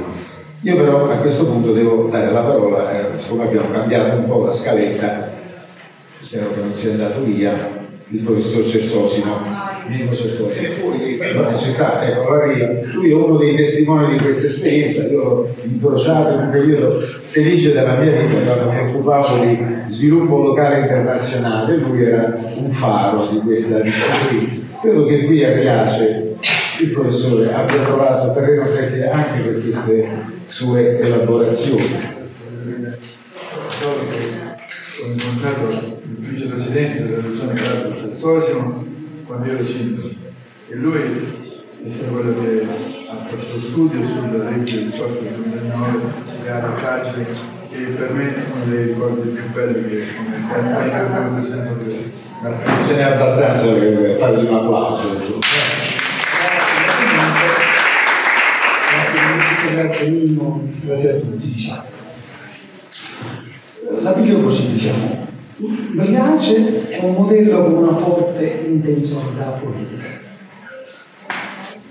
Qui lo dico così perché la deriva, l'orrore giudiziario dipende molto da questo che così ed è un caso molto diverso dagli altri casi. Cioè, è l'unico caso dove questa intenzionalità politica è fortissima. Questo è il carattere distintivo del modello, chiamiamolo modello, di politicato da questa parte, diciamo. Abbiamo altre esperienze in Calabria, altre esperienze in Italia, ma nessuno ha questa caratura intenzionale politica. Questo è il problema, diciamo. Non una mera politica umanitaria, accoglienza, Insomma, che è importante, ci mancherebbe, tanti comuni che fanno quello dell'accoglienza, ma un'altra cosa, un'altra cosa, un'altra cosa. Cioè, ridurre gli svantaggi le sofferenze che sembrano una cosa. Ma Riace non è solo questo. Cioè, Riace prova ad andare alla radice delle sofferenze, questa è la, è la politicità del caso Riace. Si interroga perché il mondo è così disuguale, perché il mondo è così disparito perché il mondo è così, così tante faglie, vecchie e nuove, sono caratterizzano il nostro mondo. E le disuguaglianze, questo lo dico da, queste cose che studio, non si risolvono con la redistribuzione. Come tutta una fase storica socialdemocratica è stata importante. Le disuguaglianze non si risolvono con la semplice redistribuzione, né con le politiche compassionevoli, potevi dare un po' di più a chi meno ha. No, no. Per ridurre le disuguaglianze e per ridurre le povertà, per ridurle in modo permanente, bisogna intervenire sui meccanismi della formazione della ricchezza. Non basta redistribuire ex post, bisogna, bisogna porsi il problema della predistribuzione. Questo è le politiche che servirebbero per ridurre le disuguaglianze. Non basta riallocare qualche fetta di tocchi in più alla, al lato più debole della bilancia. No, bisogna cambiare bilancia. Bisogna cambiare bilancia. Ecco qui io, nella mia conoscenza di Iaci, di Nino, diciamo, nelle parole usate, di scritto, nelle volte che saluto, questo ho capito, diciamo. Iaci in qualche modo, adesso dico grossa, eh, mette in discussione il capitalismo cioè la, mette in discussione la mercificazione delle relazioni umane. Cioè, tira fuori, cioè, sì, è altero, è un modello altero, non c'è poco da fare. Ha la forza, piace della irriverenza, dell'irriverenza. Qui c'è molto del, del perché dell'accanimento giudiziario. Io sopporto che tu sbagli a fare un calcoli, Sopporto che non proprio le mie guide, cosa che succede in modo generalizzato, ma non sopporto che tu metti in discussione il sistema. Così è vero, così è vero, altrimenti non è spiegabile per esempio, non c'è un accanimento su Mimmo, è quello che ha rappresentato Mimmo, è quello che con orgoglio, le parole, ha rivendicato Mimmo, cioè non se lo ha fatto è colpevole, è colpevole. Se l'avessero assolto, insomma, qualcosa non funzionava perché il sistema aveva delle falle. Invece il sistema non ha falle in questo caso, capace di reagire. Che cosa reagire? Mimmo, modello, speranzalizzato, mette quello che chiamo in discussione il triplete neoliberista, il triplete neoliberista. Uno, politiche nazionali non c'è quegli uni, sono quelli indifferenziati. Non, le politiche non vedono piace, non vedono poco serio, non vedono. Carcuni, non delle noce insieme, pure lei non vuole che mio paese dice. Le persone, la gran parte sono indifferenziate, c'è anche lui. Inglesi, economisti regionali inglesi hanno political place basic, legate ai luoghi. Le politiche indifferenziate servono come? Perché trascurano completamente il fatto che ogni luogo è diverso dall'altro il sindaco di Viaggio è diverso dal sindaco del comune, così che le persone che vivono una comunità hanno caratteristiche sociologiche di altro tipo, aspirazioni, sogni diverse da Quindi le politiche devono essere cambiate sui suoi, non indifferenti.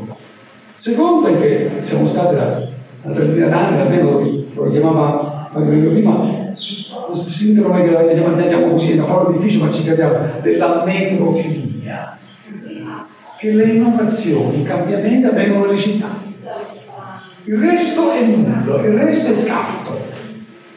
Perciò là, non i paesi del margine, ma i paesi marginalizzati, state attenti su questo.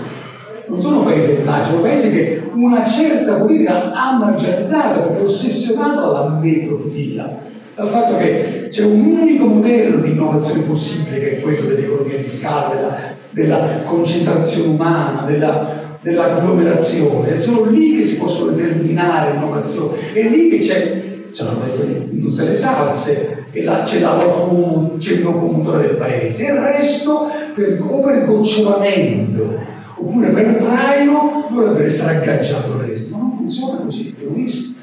Abbiamo visto nella pandemia che è successo quell'innovazione verticale milanese come crollata senza la, la medicina territoriale. Cioè. Seconda crisi c'è una, c'è una crisi di egemonia del centro. Vedete le città, o stai nel centro, centro, centro, o stai a Bovero, o stai per loro, o comunque stai ai margini. Cioè il livello di benessere, di civiltà, di servizi, o stai nel nucleo del centro, oppure anche nella periferia, tu soffri pesantemente. Questo è il modello. E il terzo è quello che dicevo prima della compensazione compassionevole. Un po' di soldi Riace non si possono legare, un po' di soldi a Cavolo non si possono legare, cioè un po' di ferite si possono avvenire, ma dentro quel meccanismo, diciamo, ecco, c'è un po' decostruisce questo triplete e fa emerge una cosa interessante dal punto di vista politico, diciamo, lo dico io, è che si può decostruire soltanto dai margini dove c'è una doppia cosa che rappresentativo, massima concretezza devi far mangiare a quelle persone e massima visione. Questa è l'essenza del modello. Ma questo può venire, non, può venire soltanto nel margine. Solo qui può venire. È solo qui che tu puoi mettere in discussione quel triplete. Non ce la fai nel centro, perché c'è sei catturato dall'informazione, sei catturato dalla manipolazione. Al margine la, la manipolazione fortunatamente è molto bassa e dunque è possibile ricostruire questo. E quella gente quindi è stato, si è dato voce, la, la gran parte delle nostre comunità pratica l'exit, se vanno. I miei studenti, io faccio, dopo la laurea faccio una, prima della laurea faccio una pizza con i studenti. L'ultima volta ne ho lavorati 10, 8 su 10 hanno già deciso di andare uno è ricerca e l'altro, purtroppo il meno dotato, ha detto io provo a restare qui. L'exit, vanno via. Oppure il silenzio, l'accomodamento, la rassegnazione.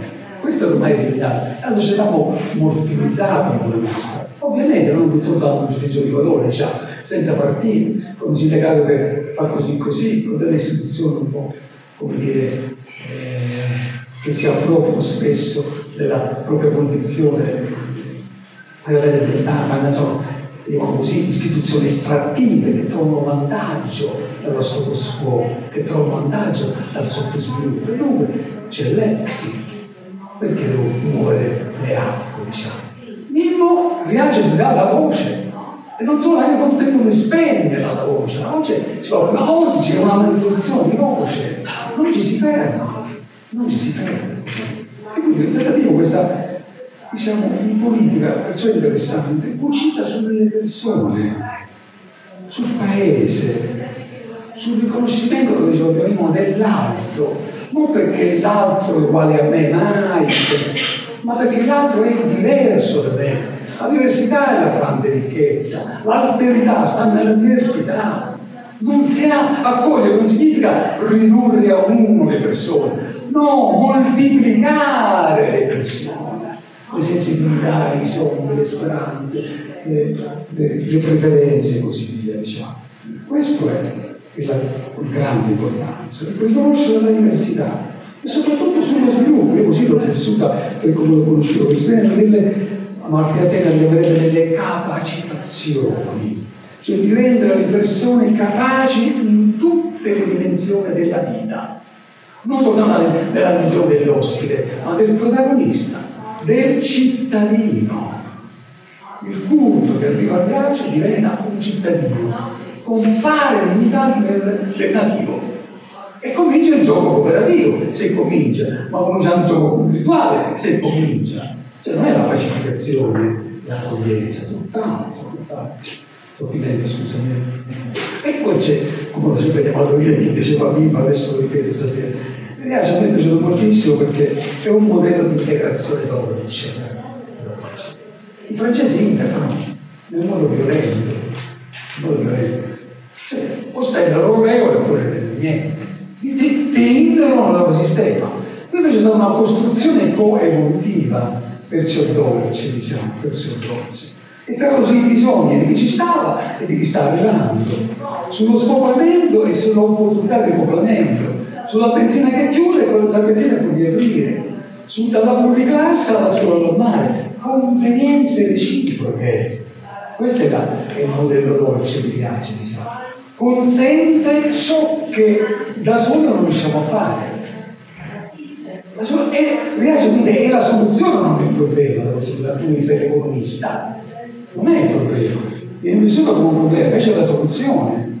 Se tu pensate, adesso sono arrivati 125.000 migranti, da, cioè rifugiati da, da, da, da arriveranno, se continua così, la stima di 700.000. Molti erano nelle città, ma molti sarebbero potuto che andassero in certe di spopolamento. Perché sono convenienze, capacità per riprendere quelle comunità insieme, costruirle insieme. E quindi e questo è riabilitare cittadinanza, ospitalità, ospitalità e lavoro, solidarietà e alterità.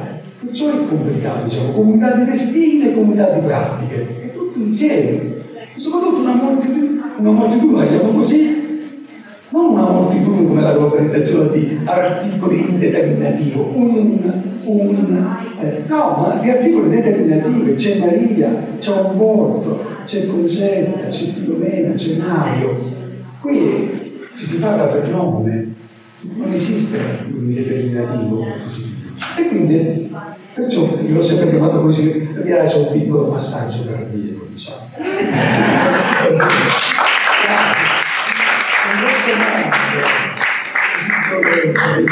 così disuguale, così disunita, insomma, assurde cose. È un piccolo messaggio per C'è una società così anestetizzata.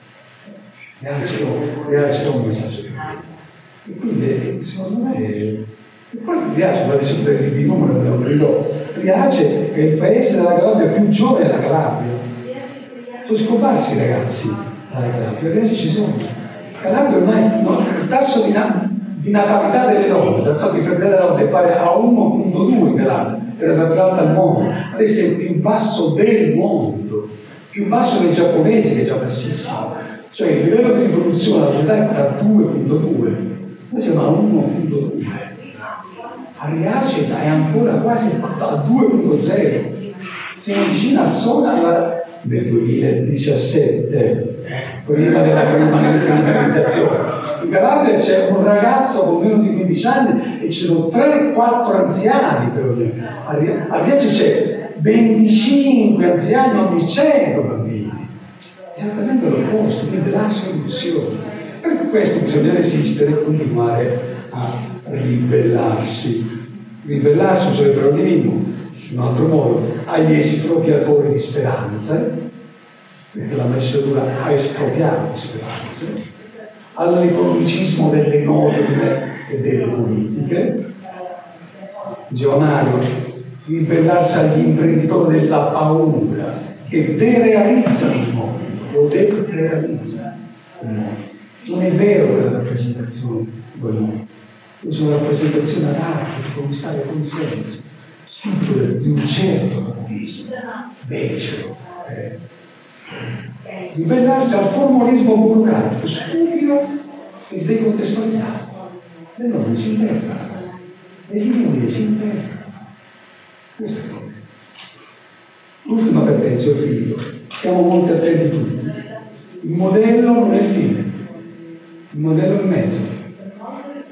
Non enfatizziamo il modello, dobbiamo enfatizzare il fine. Il fine è la società più coesa, la società più giusta, meno visuale. È quella la sostanza. Non innamoriamoci del modello, ma enfatizziamo il fine. Quello sono il mezzo. Il mezzo vi ha già funzionato. Grazie.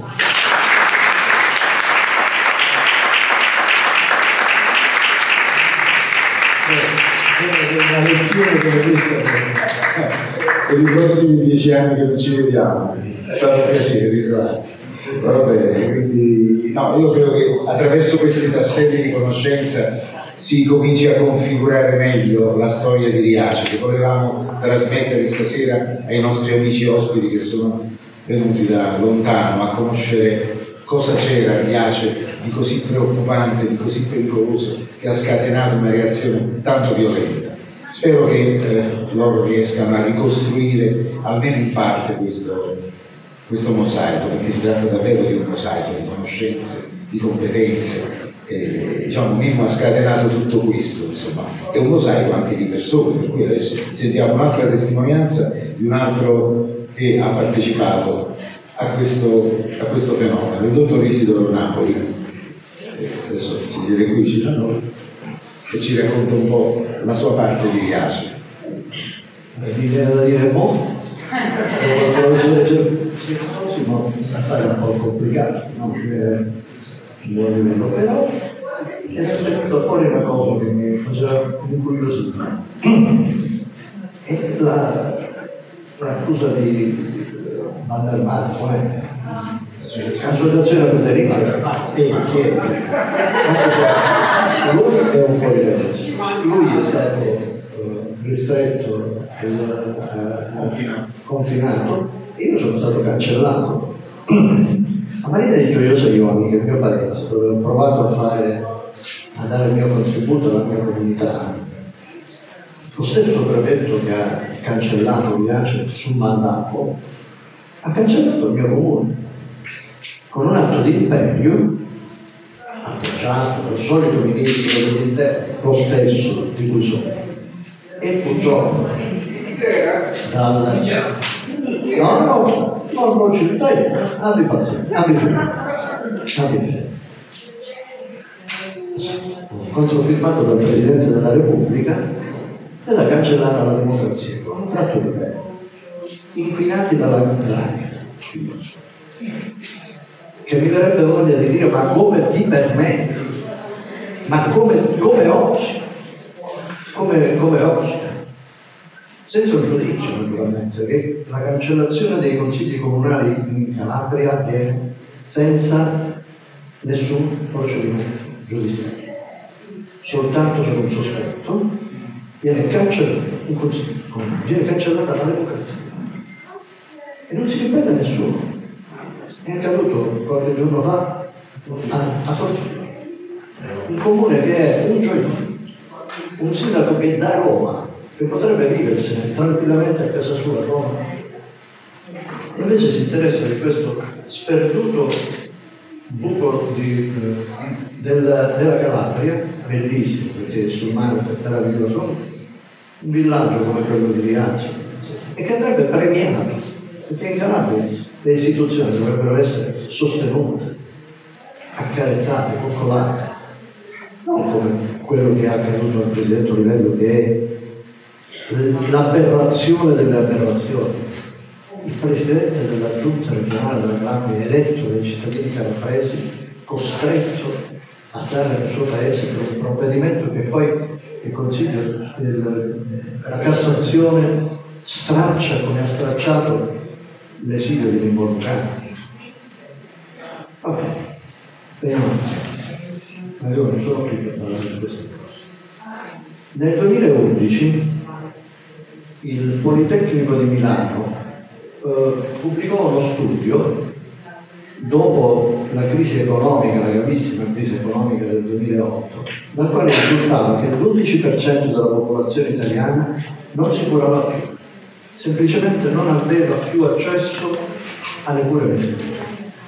Perché comunque ti muovi, se ti devi curare, devi spendere E in costanza dell'articolo della Costituzione che vuole la salute, non la cura, la salute, quale diritto fondamentale della nostra società, l'11% della popolazione italiana nel 2011 dice un istituto prestigiosissimo come il Politecnico di Milano non si cura più, non ha accesso alle cure.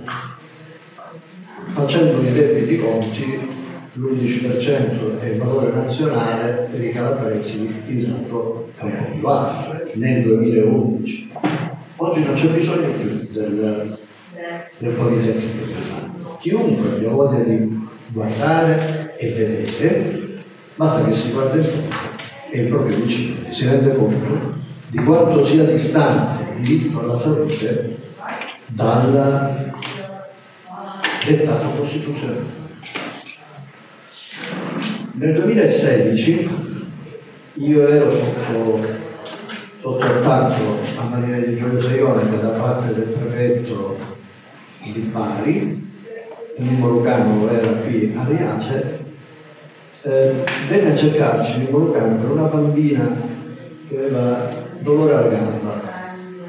Facciamo alcuni accertamenti, purtroppo per quella bambina si fece diagnosi di un tumore alla, alla bambina poi è stata seguita in un percorso doloroso, ma per fortuna con esito positivo.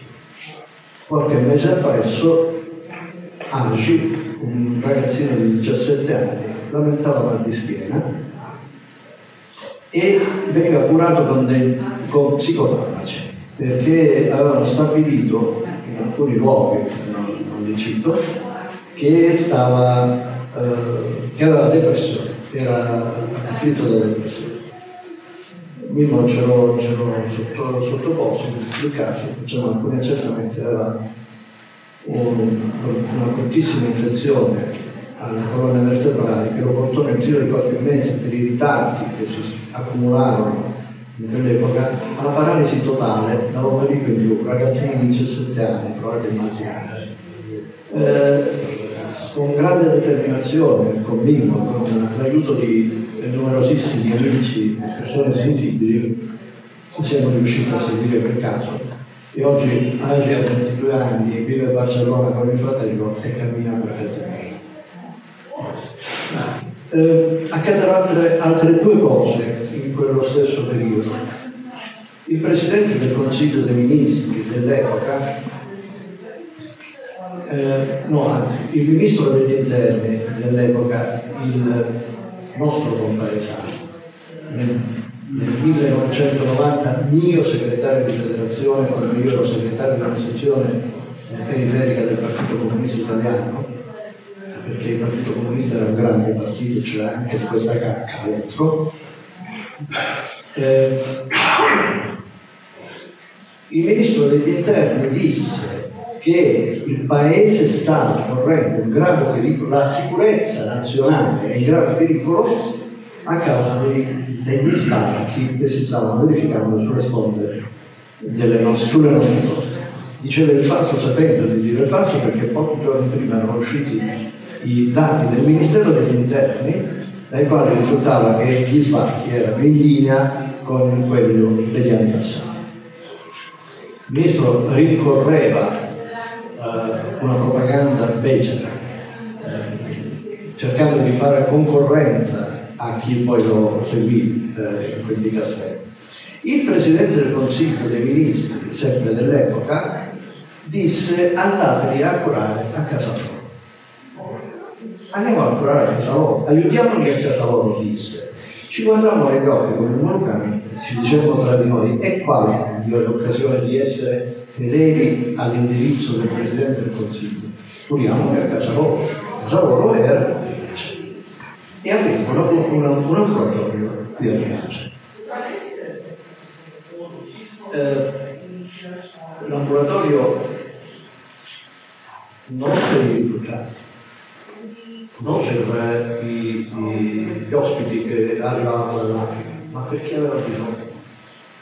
Tant'è vero che in questi anni in cui gli ospiti e i rifugiati si sono ridotti di numero drammaticamente, drasticamente, l'ambulatorio è continuato ad operare regolarmente per i cittadini di Riace, per i cittadini di Riace e dintorni. Eh, l'associazione che ho ancora il piacere e l'onore di appartenere è un'associazione che si chiama Gimwell. Gimwell è il nome di un bambino. Un bambino filippino.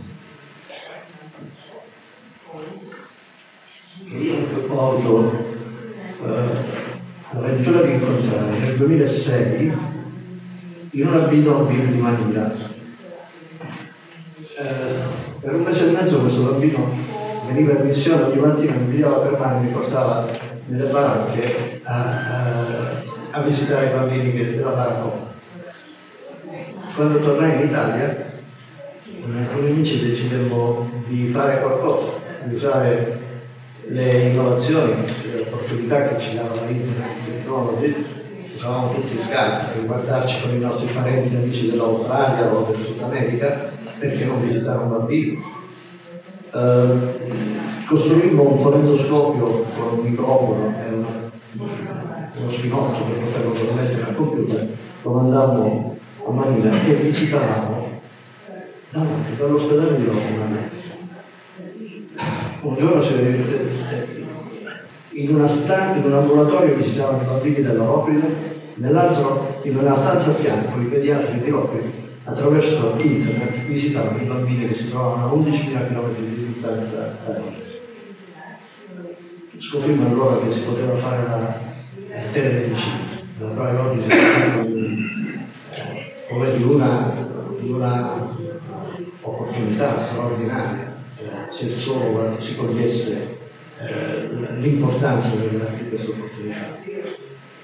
Qui a Riace non abbiamo avuto bisogno di fare telemedicina, perché per una sorta di botta di, di fortuna la General Electric, che doveva vendere un apparecchio alla struttura di diagnostica per immagine dove io lavoro, decise di regalare, lo fecero probabilmente per farsi propaganda, di regalarci un, un, un ecografo a comprarlo costerebbe 80.000 euro e noi quegli 80.000 euro non abbiamo trovato. Da nessuna parte per poter. Insomma abbiamo questo apparecchio che viene utilizzato ormai da 5 anni da tanti medici, soprattutto da tre, eh, da una cardiologa, la dottoressa Muti, che era qui, nonostante vicende familiari piuttosto importanti, eh, non lo dovrebbe impedire, da un pediatra, il dottore Trofio, che, con il quale il giorno 10 faremo, visiteremo tutti i bambini di Riace, rifugiati e no, e soprattutto da una ginecologa che sta facendo un lavoro straordinario davvero con un settore, ma di questo non vi voglio parlare, così delicato e fragile, del quale non merita e non deve essere argomento di, di, di divulgazione. Troppo fragile, troppo ma è un lavoro di straordinaria bellezza, di straordinaria bellezza. Io voglio chiudere con due parole eh, che ho recuperato dall'ultimo discorso di Giuseppe Di Vittorio, grande dirigente sindacale della, della sinistra italiana. La nostra è una vita di sofferenza,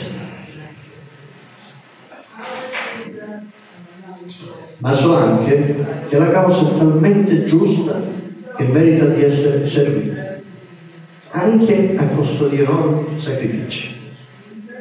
E quando si ha questa consapevolezza, ognuno di noi può dire a se stesso, alla propria donna, ai propri figli, ho fatto il mio dovere, fino in fondo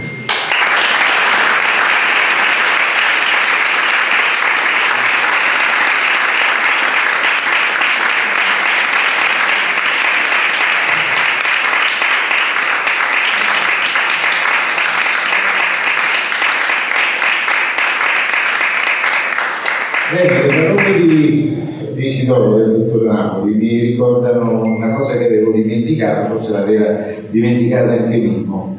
Sono splendide parole, sia quelle di Vittorio che le tue, ma eh, c'era un signore qui che era cittadino di Riace, era medico.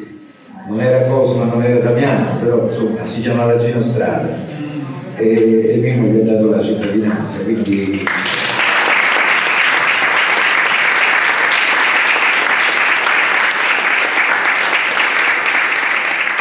mi fa piacere ricordare che è stato anche nostro ospite al Festival a Napoli nel 2018, una giornata memorabile. È stato al, cioè l'abbiamo portato nel posto migliore che ci avevamo disponibile, il carcere di Poggioreale.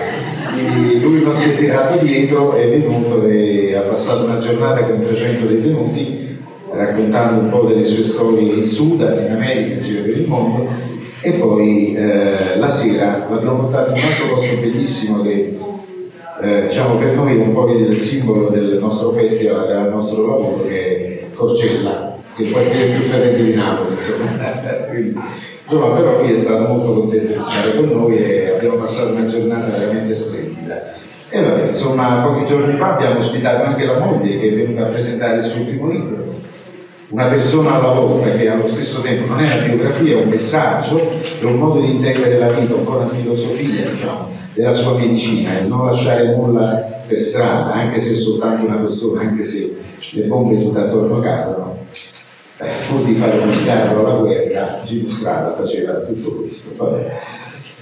E adesso abbiamo una, un'altra testimonianza e anche qui bisognerà restringere i tempi, chiedo a Giuseppe di essere così generoso da comprimere le sue idee, lo sa fare molto bene, un consulente, si chiama Giuseppe Panarello, ha dato una mano a Riace in altri tempi, però insomma stasera semmai ci racconta qualcosa del, delle sue meditazioni su quello che è stato Riace. Grazie. Eh, devo dire che con intensità, insomma, ho frequentato Riace da più di vent'anni, insomma, sentire Mimmo, sentire il Presidente Oliverio, eh, che ha una visione molto, molto importante. Questo ragionamento dei territori è entusiasmante perché in Italia ci sono regioni che programmano lo spopolamento. Invece io stasera ho sentito una bellissima energia, Mario, di contrastare lo spopolamento e di stare vicino ai territori. Poi sentire Mimmo per me è un guru, quindi insomma eh, mi ha emozionato, non ultimo tutti gli altri. Cosa? Perché ho fatto questo questo come dire, show, showing di quello che ho vissuto in queste ultime due ore, perché spero che tutto questo possa essere utile per eh, i parlamentari europei, protagonisti della, di questa lotta per una società migliore, a fare delle cose, delle azioni concrete, eh, perché ne abbiamo veramente bisogno. Il mondo è in cambiamento, e e in questo momento il cambiamento volge verso una società di, governata dalla bancocrazia. È paradossale che il Parlamento europeo abbia stima nelle monete complementari e nello stesso tempo la Commissione no? o la BCE distrugge esperienze di monete complementari. Poi ci rivedremo su questo. Io non, non la faccio lunga perché mi rendo conto che eh, è stato detto tanto, eh, però voglio solo fare dei flash. Il flash è che quando ho conosciuto Mimmo nel 2004, Riace era un paese raso al suolo, c'era una cellula di persone rivoluzionarie eh, che avevano delle grandi idee ed erano conseguenti a queste idee. L'ospitalità diffusa nel borgo era una realtà eh, e noi nello stesso tempo in Calabria per 15 anni non riuscivamo ad approvare una legge sulla, sul, sui paesi albergo, ti ricordo? No? Fu approvata nel 92, 93, una cosa del genere. Bene, eh, Mimmo questa cellula di rivoluzionari l'avevano realizzata, avevano conquistato anche le istituzioni. E quando sono arrivato qui mi ha colpito due cose. La prima è che in un paese così raso al suolo c'era l'università, l'università che stava facendo uno stage, stava eh, costruendo un disegno urbano per dare qualità urbana a, al comune, questo borgo eh, sempre diviso in Calabria tra borgo del mare e borgo eh, della montagna.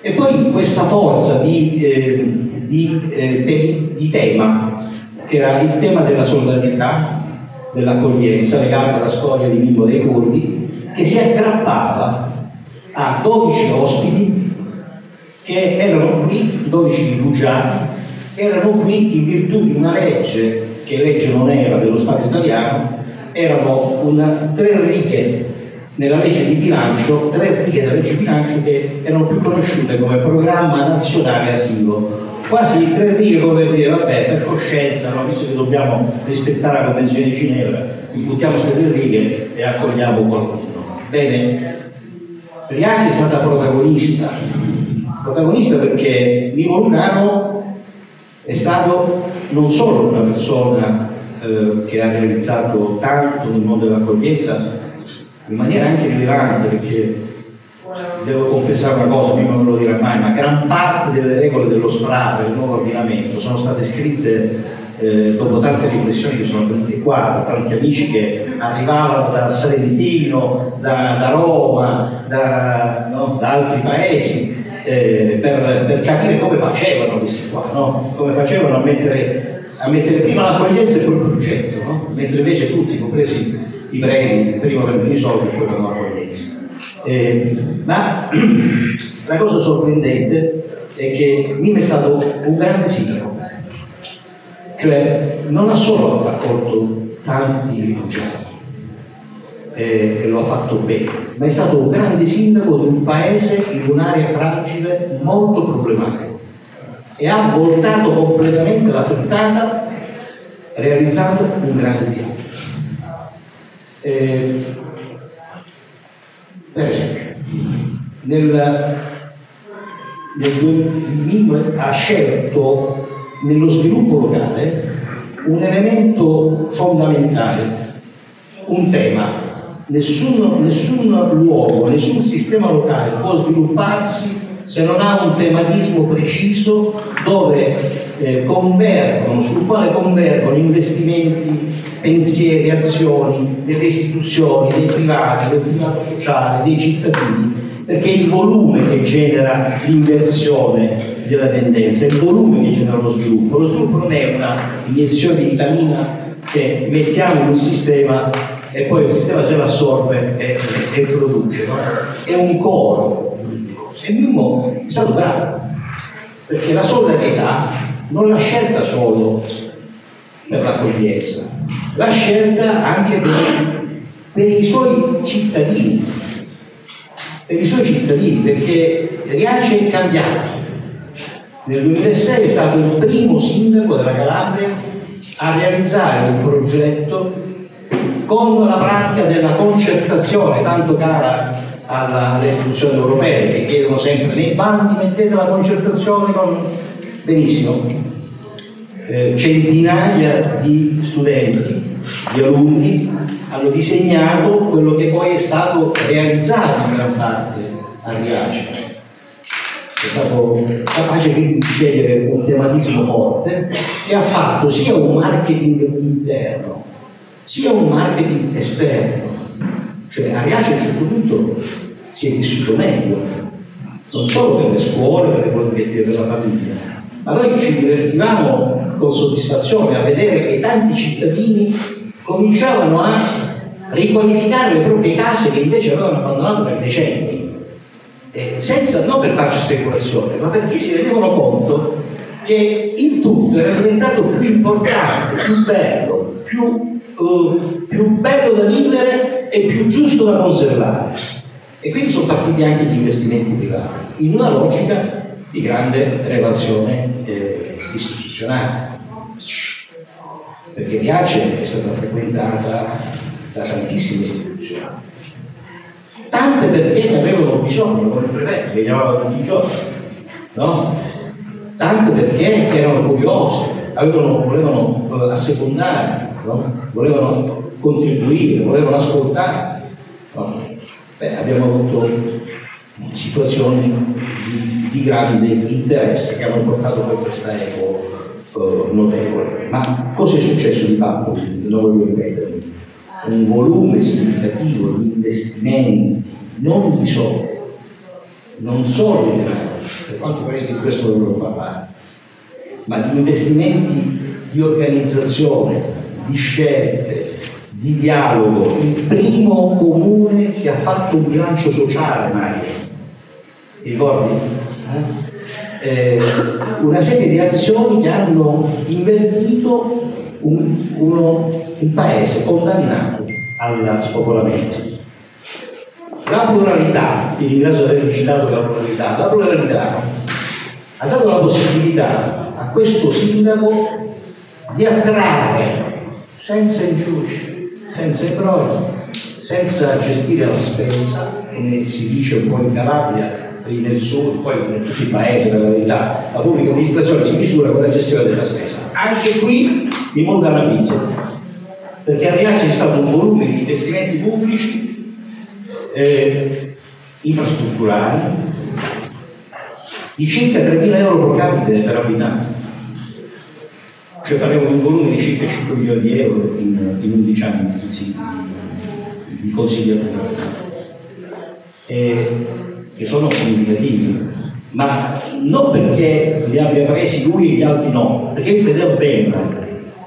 Perché quando uscivano i bandi si scriveva, come dicono i parlamentari europei, dicono sempre, ma quando ristrutturate una chiesa, quando ristrutturate un... raccontateci quali sono gli obiettivi, che cosa ne farete, chi li userà, noi qui l'abbiamo fatto, Mimulcano qui lo ha fatto. No?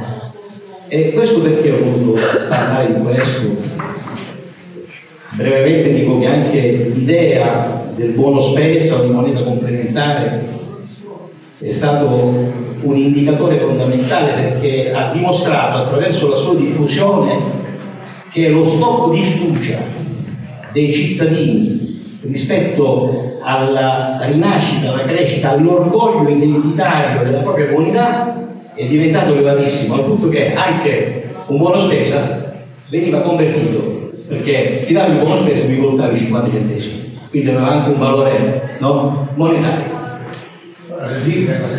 La semplificazione, no? Perché abbiamo sottratto, abbiamo sottratto all'agio del sistema bancario no? cifre enormi no? di, di, di, interessi che avremmo dovuto scontare tutti i soggetti, che, i consumatori, i lavoratori. Eh, eh, perché dico, dico, questo? Perché eh, la, ehm, la, storia di, di Riace è una storia importante nei risultati. Riace è l'unico paese, come ha detto prima Celsosimo, che ha caratteristiche della natalità, eh, è un paese che fino al 2000 ha cresciuto i suoi abitanti, che ha fatto delle politiche attive per la famiglia, significative, senza neanche eh, spremersi più di tanto, ha semplicemente accolto con preferenza eh, nuclei parentali, le famiglie, dando la possibilità alle scuole di vivere, dando la possibilità ai cittadini di capire che una quotidianità in, in una zona interna del paese era possibile. In tre grandi fasi di lavoro che è completo. Eh, io ho fatto un abstract che magari vorrei consegnare a, a, a, chi, chi interessa, eh, perché tutte queste cose che non si sono dette, in realtà voi le vedete e sono state fatte. No? Eh, in tre grandi fasi. La prima fase dell'amministrazione di Riace è stata una fase legata molto alla riqualificazione urbana, alla riqualificazione dei servizi, all'accoglienza, alla, all'apertura all'esterno delle tradizioni identitarie. Eh, mi va di ricordare Pina con eh, la, la, valorizzazione della ginestra, degli antichi mestieri, eh, eccetera. La seconda fase è stata una fase di finalizzazione, eh, non solo dell'accoglienza, ma anche nel dare un senso al valore questa, della storia di questo comune, con l'ospitalità diffusa. Eh, e sono state intraprese tante azioni, voi vedete, no? in un contesto anche di contaminazione internazionale. La terza fase è stata quella di spingere, come dice Mimmo Cerzoso, che è stata una fotografia spettacolare, di spingere senza esitazione sul sistema valoriale politico. Eh, io penso che l'ultima cosa importante da sindaco che Mimmo ha fatto eh, in un dato periodo è, è, è stato un messaggio politico forte, legato al bene pubblico dell'acqua, che devo dire non ci hanno sopportato tanto, no? eh? non hanno sopportato tanto perché si è trattato di revocare contratti, di litigare col Presidente, di, di, no? di fare un sacco di, un sacco di roba, eh, con questo obiettivo no? di costruire una vivibilità per le fasce dei cittadini più deboli. Quindi abbiamo ragionato tante volte su, su quant'era la quota di acqua che dovevamo dare gratuitamente a tutti no? e, e, e, con che criterio farlo pagare poi agli altri. E l'altra cosa è una risposta concreta alla criminalità. Cosa può fare un sindaco? Appropriarsi dei beni confiscati.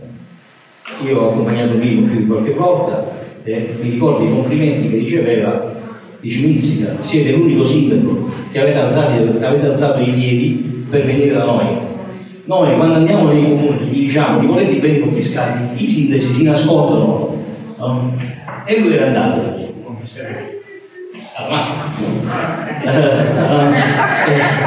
diciamo, il proprietario di questi beni tre 41 Bene, Vivo l'ha portato nel patrimonio comunale questo bene. Eh, ricordo con esattezza la sera della delibera, una delibera difficile, con tanta digos fuori.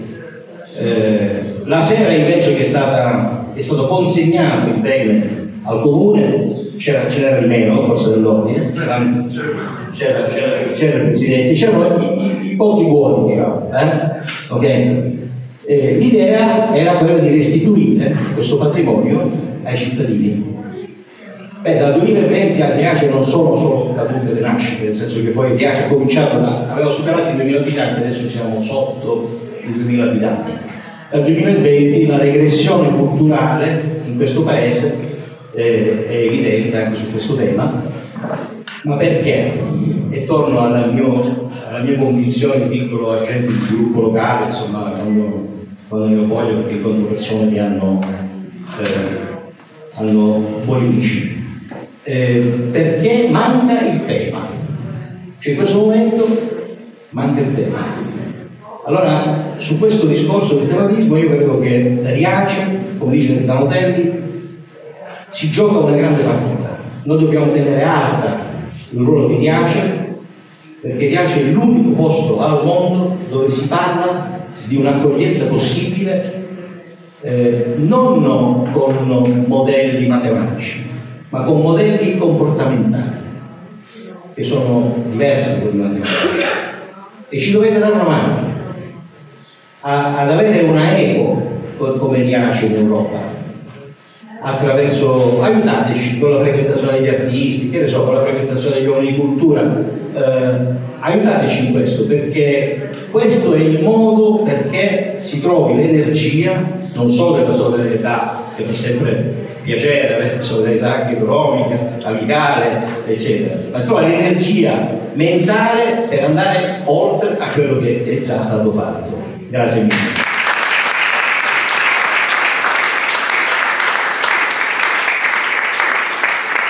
Grazie a Giuseppe Panelli. Bene, noi ci abbiamo alla conclusione con l'ultimo intervento che eh, coglie proprio nel segno l'invito di Giuseppe, cioè quello di prospettare un futuro per Riace, perché ormai la storia l'avete capita, la conoscete, sapete quali sono i punti di forza di questa esperienza, conoscete anche i protagonisti perché alcuni hanno parlato qui, ce ne sono tanti altri che sono lontani ma vicini col cuore a Mimmo e a Riace.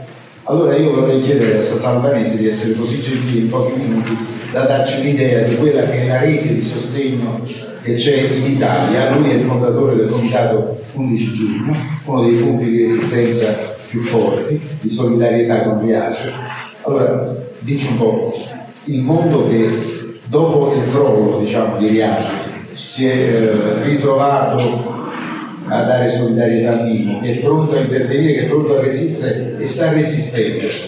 Ecco, quanto è grande, come è complessa questa realtà, questo coso?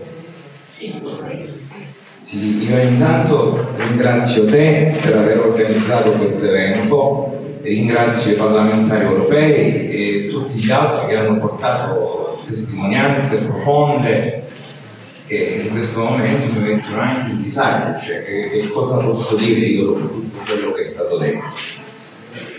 Perché quella questione del comitato 11 giugno è un po' complessa, ora dirò qualcosa, però io vorrei ringraziare i Verdi perché ho fatto un lungo percorso di militanza con loro, perché la mia vicinanza a Mimmo inizia negli anni 70 nelle lotte sociali di questa terra, cioè che è particolare, perché secondo me Diage nasce dentro quel contesto di utopie fortemente caratterizzate soprattutto dagli anarchici in questo territorio.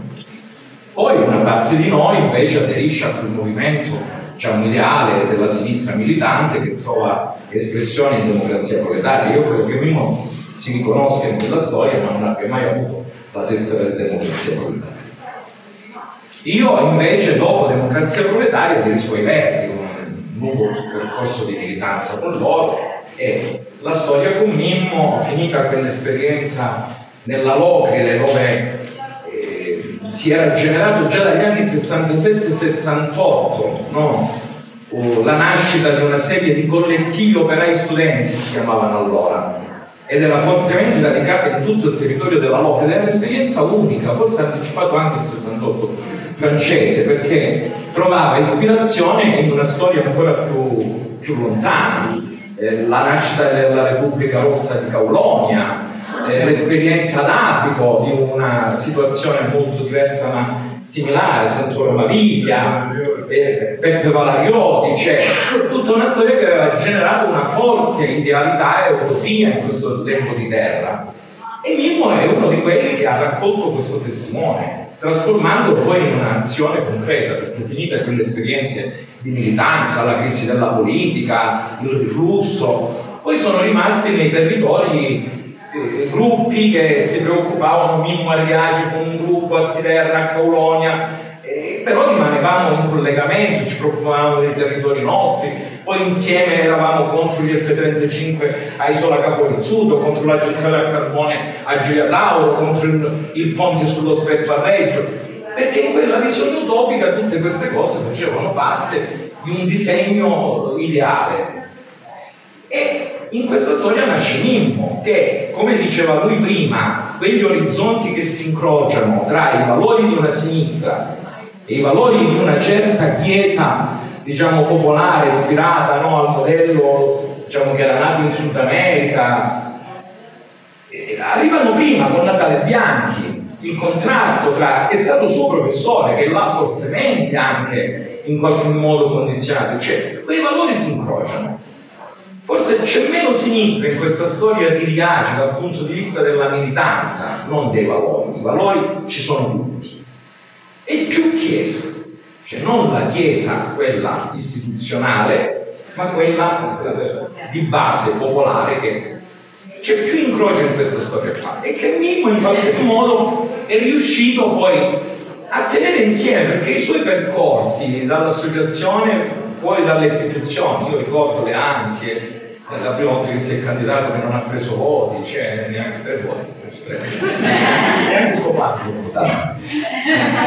Però poi quando diventa sindaco, lui ha la capacità, lui non sembra, però ha una capacità comunicativa enorme. Questa storia diventa anche quello che è per la sua capacità di comunicazione. Perché lui ad ogni passo, ad ogni elemento di crisi, riusciva a coinvolgere tutti. Cioè lanciava l'appello.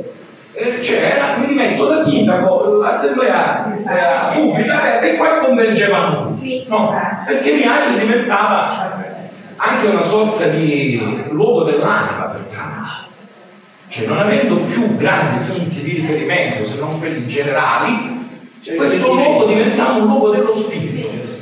Cioè era una sorta di spartiacque tra chi stava all'interno di una visione umanitaria no? E, che, e che dobbiamo qui recuperare. Poi tanti per strada si sono persi perché intorno a questa vicenda di Riace anche tanti hanno cercato di approfittare di questa luce che emanava per fare un po' i conti di, diciamo, i propri interessi, no? C'è anche stato un uso di quello, ma va bene pure quello, ci sta, no? Tante narrazioni, diceva bene eh, Maurizio, quanti film, quanti libri, quante storie, tanti hanno, avevano, hanno avuto e avevano lo scopo di illustrare, cercare di rendere questa esperienza, tanti erano anche un modo per farsi luce propria, no? vivere di luce riflessa, c'è stato anche tanto. Allora il comitato 11 giugno, perché se no poi diventa molto lunga come storia, perché poi nella sostanza abbiamo recuperato Mario Livello, no? Cioè, l'abbiamo recuperato per strada Mario Livello, non è che c'è questa storia, però appena l'ho incontrato con Lucano, pure così, sulla via di Damasco, ah, no? E, e finanzia quella famosa legge che con Mimmo Gersosimo, ispirata da Mimmo, la legge 18, poi è andata, non è andata a buon fine per l'uso di quei soldi. Però almeno c'è stato un tentativo di utilizzarla. Adesso non credo che siamo nella condizione di immaginare un utilizzo. Eh, dopodiché il problema ora è capire, questo comitato 11 giugno nasce nel momento in cui Mimmo è in esilio, tanti compagni provenienti da storie di militanza diverse si incontrano, si avvicinava all'inizio del processo all'Ocri, insieme si è deciso in una delle tante riunioni fatte là a di far nascere un, un qualcosa che potesse in qualche modo essere utilizzata per eh, tenere accesa questa storia, tenerla illuminata, cercare di contrastare e si lancia questa idea comitato 11 giugno proprio perché era l'11 giugno che cominciava il processo.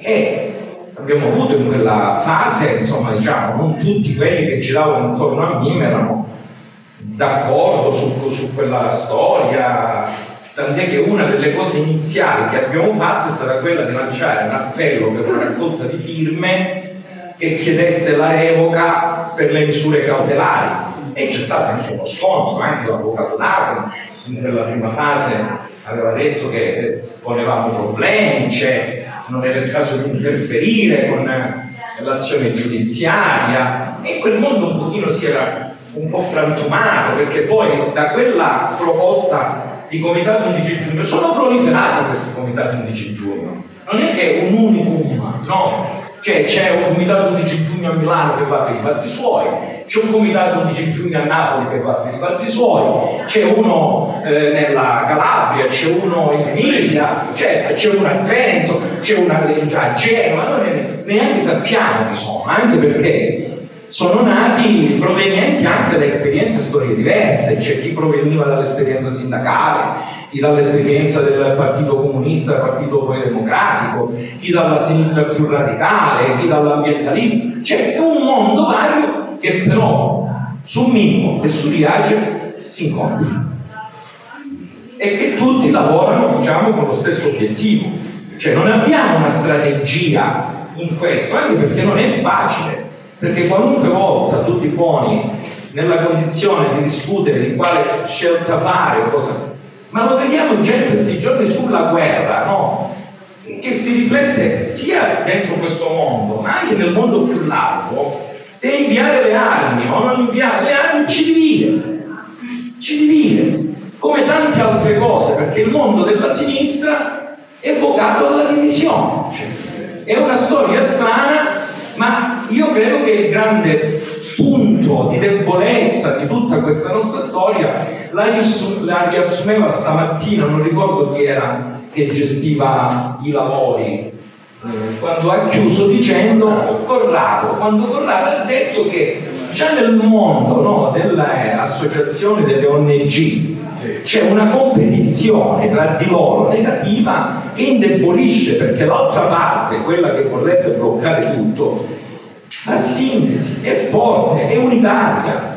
Invece questo mondo non riesce a fare sintesi comune, non lo so se perché ci sentiamo più intelligenti, ma secondo me siamo più stupidi. Perché se fossimo capaci di tenere insieme questo mondo diverso ma che si riconosce negli stessi valori, noi avremmo delle forti rappresentanze.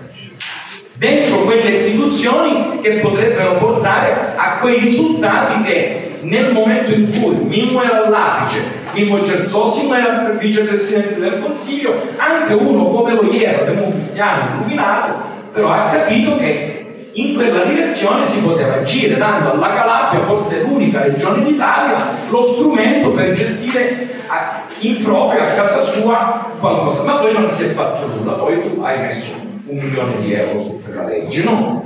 Eh, ma quante cose si potrebbero fare se tu avessi delle ottime, buone rappresentanze valoriali dentro le istituzioni? Perché secondo me quello è importante. Invece intorno al mondo di Mimmo, dentro questi comitati di 10 giugno, molti ritengono che Mimmo deve essere il santino da venerare, no? Cioè da venerare, perché non deve partecipare alle elezioni, Mimmo è al di sopra delle elezioni, no? Poi Mimmo su questo ha una sua autonomia di decisioni, scelte, giudizio e fa cazzate, no? Perché quando si deve candidare non si cambia, quando non si deve candidare si cambia, no? Ma questo è nella sua piena e totale libertà di farlo, no? Eh, perché se Mimmo si fosse candidato agli europei probabilmente il processo non gliel'avrebbero neanche fatto, no? Eh, però Mimmo non si voleva candidare perché il suo problema non era andare a, a rifugiarsi in un Parlamento europeo dove riteneva che non poter essere utile. Io invece sostengo che lui là avrebbe avuto la forza di aprire una discussione che purtroppo in Europa non si sta facendo. Stamattina io sono grato ai parlamentari europei perché ci hanno fornito un quadro di iniziative, di tentativi di scardinare alcuni meccanismi, ma che è chiaro che sono molto deboli. Ce lo dimostra ancora con forza la contraddizione che si sta vivendo in questi giorni con l'atteggiamento che l'Europa ha verso gli ucraini, giusta, no, ma con lo stesso atteggiamento di respingimento che continua a mantenere con gli altri. Cioè, è, è, assurdo quello che vediamo nelle immagini della Bielorussia o ai confini della Polonia, c'è tutto questo. Ecco, ora, Ora, noi, qual è, eh, diciamo, è complessa la cosa, poi le cose di sostanza sono state dette. Ora, questo comitato è una presenza, per fortuna, molto diffusa in Italia, anche con appendici all'estero, dove tutti sono attenti con, diciamo, le antenne accese per capire in che modo si può aiutare Mimmo. Per esempio, io in questi giorni mi sono molto interrogato se era opportuno o meno organizzare un'iniziativa in occasione dell'avvio del processo di appello no? a Reggio Calabria. Abbiamo ritenuto di non farlo perché l'11 giugno a Logri abbiamo vissuto qualcosa che era più simile ad un incubo che ad un patto sociale. Cioè, noi abbiamo avuto un, un responsabile del commissariato di Siderno che ci ha cambiato i numeri sulle carte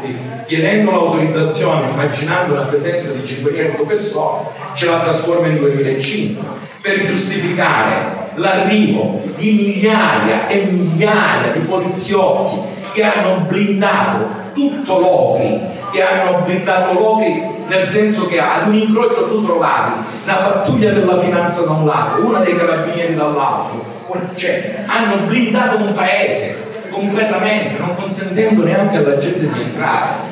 Cioè, e casomai facendoci passare con i cittadini di Locri per i responsabili di una giornata eh, terribile, nefasta, no? E, e, siccome approfittano un po' di questa cosa, tu non sai, io oggi qua sono il responsabile della sicurezza, tu non lo sai, no? Eh, tu non lo sai, no? E perché la Digos ha voluto che ci fosse un responsabile della sicurezza, hanno voluto le comunicazioni, perché quando è su di lui dove mai è successo nulla, mai, però funziona così. Cioè, ecco, allora, tenendo conto di quello che può succedere, abbiamo evitato di, poi alcuni compagni, Giuseppe, altri compagni del comitato, e di questo diciamo, movimento che si è formato intorno a Mimmo alla sua scelta di candidarsi alle ultime elezioni regionali, che era un'altra Calabria possibile, ma chiamata diciamo, ai valori di Porto Allegro, un altro mondo possibile, no? Dove anche là una rete plurale di soggetti si riconosce e che, a differenza di qualcuno che riterrebbe che bisognerebbe mettere in campo un altro partito, un altro movimento, io ritengo che quello può essere lo strumento per cercare di unire c'è i diversi mondi che si muovono dentro questi spazi di valore, ma non mettere di nuovo in campo un'altra idea che Mimmo, leader, non esiste proprio né in cielo né in terra, perché quello che Mimmo sicuramente non è un leader, e un Mimmo può essere un santo, un Mimmo può essere cioè, l'ispiratore di mille riflessioni, ma sicuramente non è un leader politico. Eh. E noi, cioè, con lui, questa lunga storia. No, ma, ma vedi che i leader che poi sono diventati importanti sono quelli che hanno fatto carcere, che sono stati interdetti. Mandela è un esempio per tutti, no? No, no, con lui, no, con lui possiamo scherzare su questo, ma noi anche, diciamo, come comitato, come compagni che hanno vissuto e vivono questa storia, abbiamo vissuto anche momenti drammatici perché ci sono, ci sono, stati momenti di fragilità estrema, anche da parte di Mimmo dove abbiamo avuto paura di qualche gesto estremo perché lui aveva messo in conto anche quello di rispondere all'attacco della, eh, del Tribunale di Lodi e della Prefettura anche mettendo a disposizione la propria vita. Cioè, e ci sono stati momenti, per fortuna oggi lui ha elaborato e sta affrontando questa battaglia che si traduce nella scommessa di far rinascere Riace. Ora, per far rinascere Riace e farlo ripartire, e chiudo, c'è questa disponibilità di questa raccolta fondi che ha fatto Luigi Manconi, sono stati presenti delle associazioni anche francesi che sono venuti a dare anche un contributo. Io dico che anche i parlamentari europei potrebbero dare un contributo no? a far ripartire, perché questa storia è un faro nel mondo e riguarda tutti. Cioè non è la vicenda di Ace, è guardata anche dal Giappone, no? come esempio più alto di umanità. Ora, io credo che il gruppo dei parlamentari europei potrebbe farsi carico di finanziare un piccolo segmento di questo progetto che sta ripartendo senza sostegno da parte dello Stato. Per esempio, non lo so quanto può essere la spesa per gestire 5 famiglie in un mese a Riace, no, un contributo concreto in questa direzione.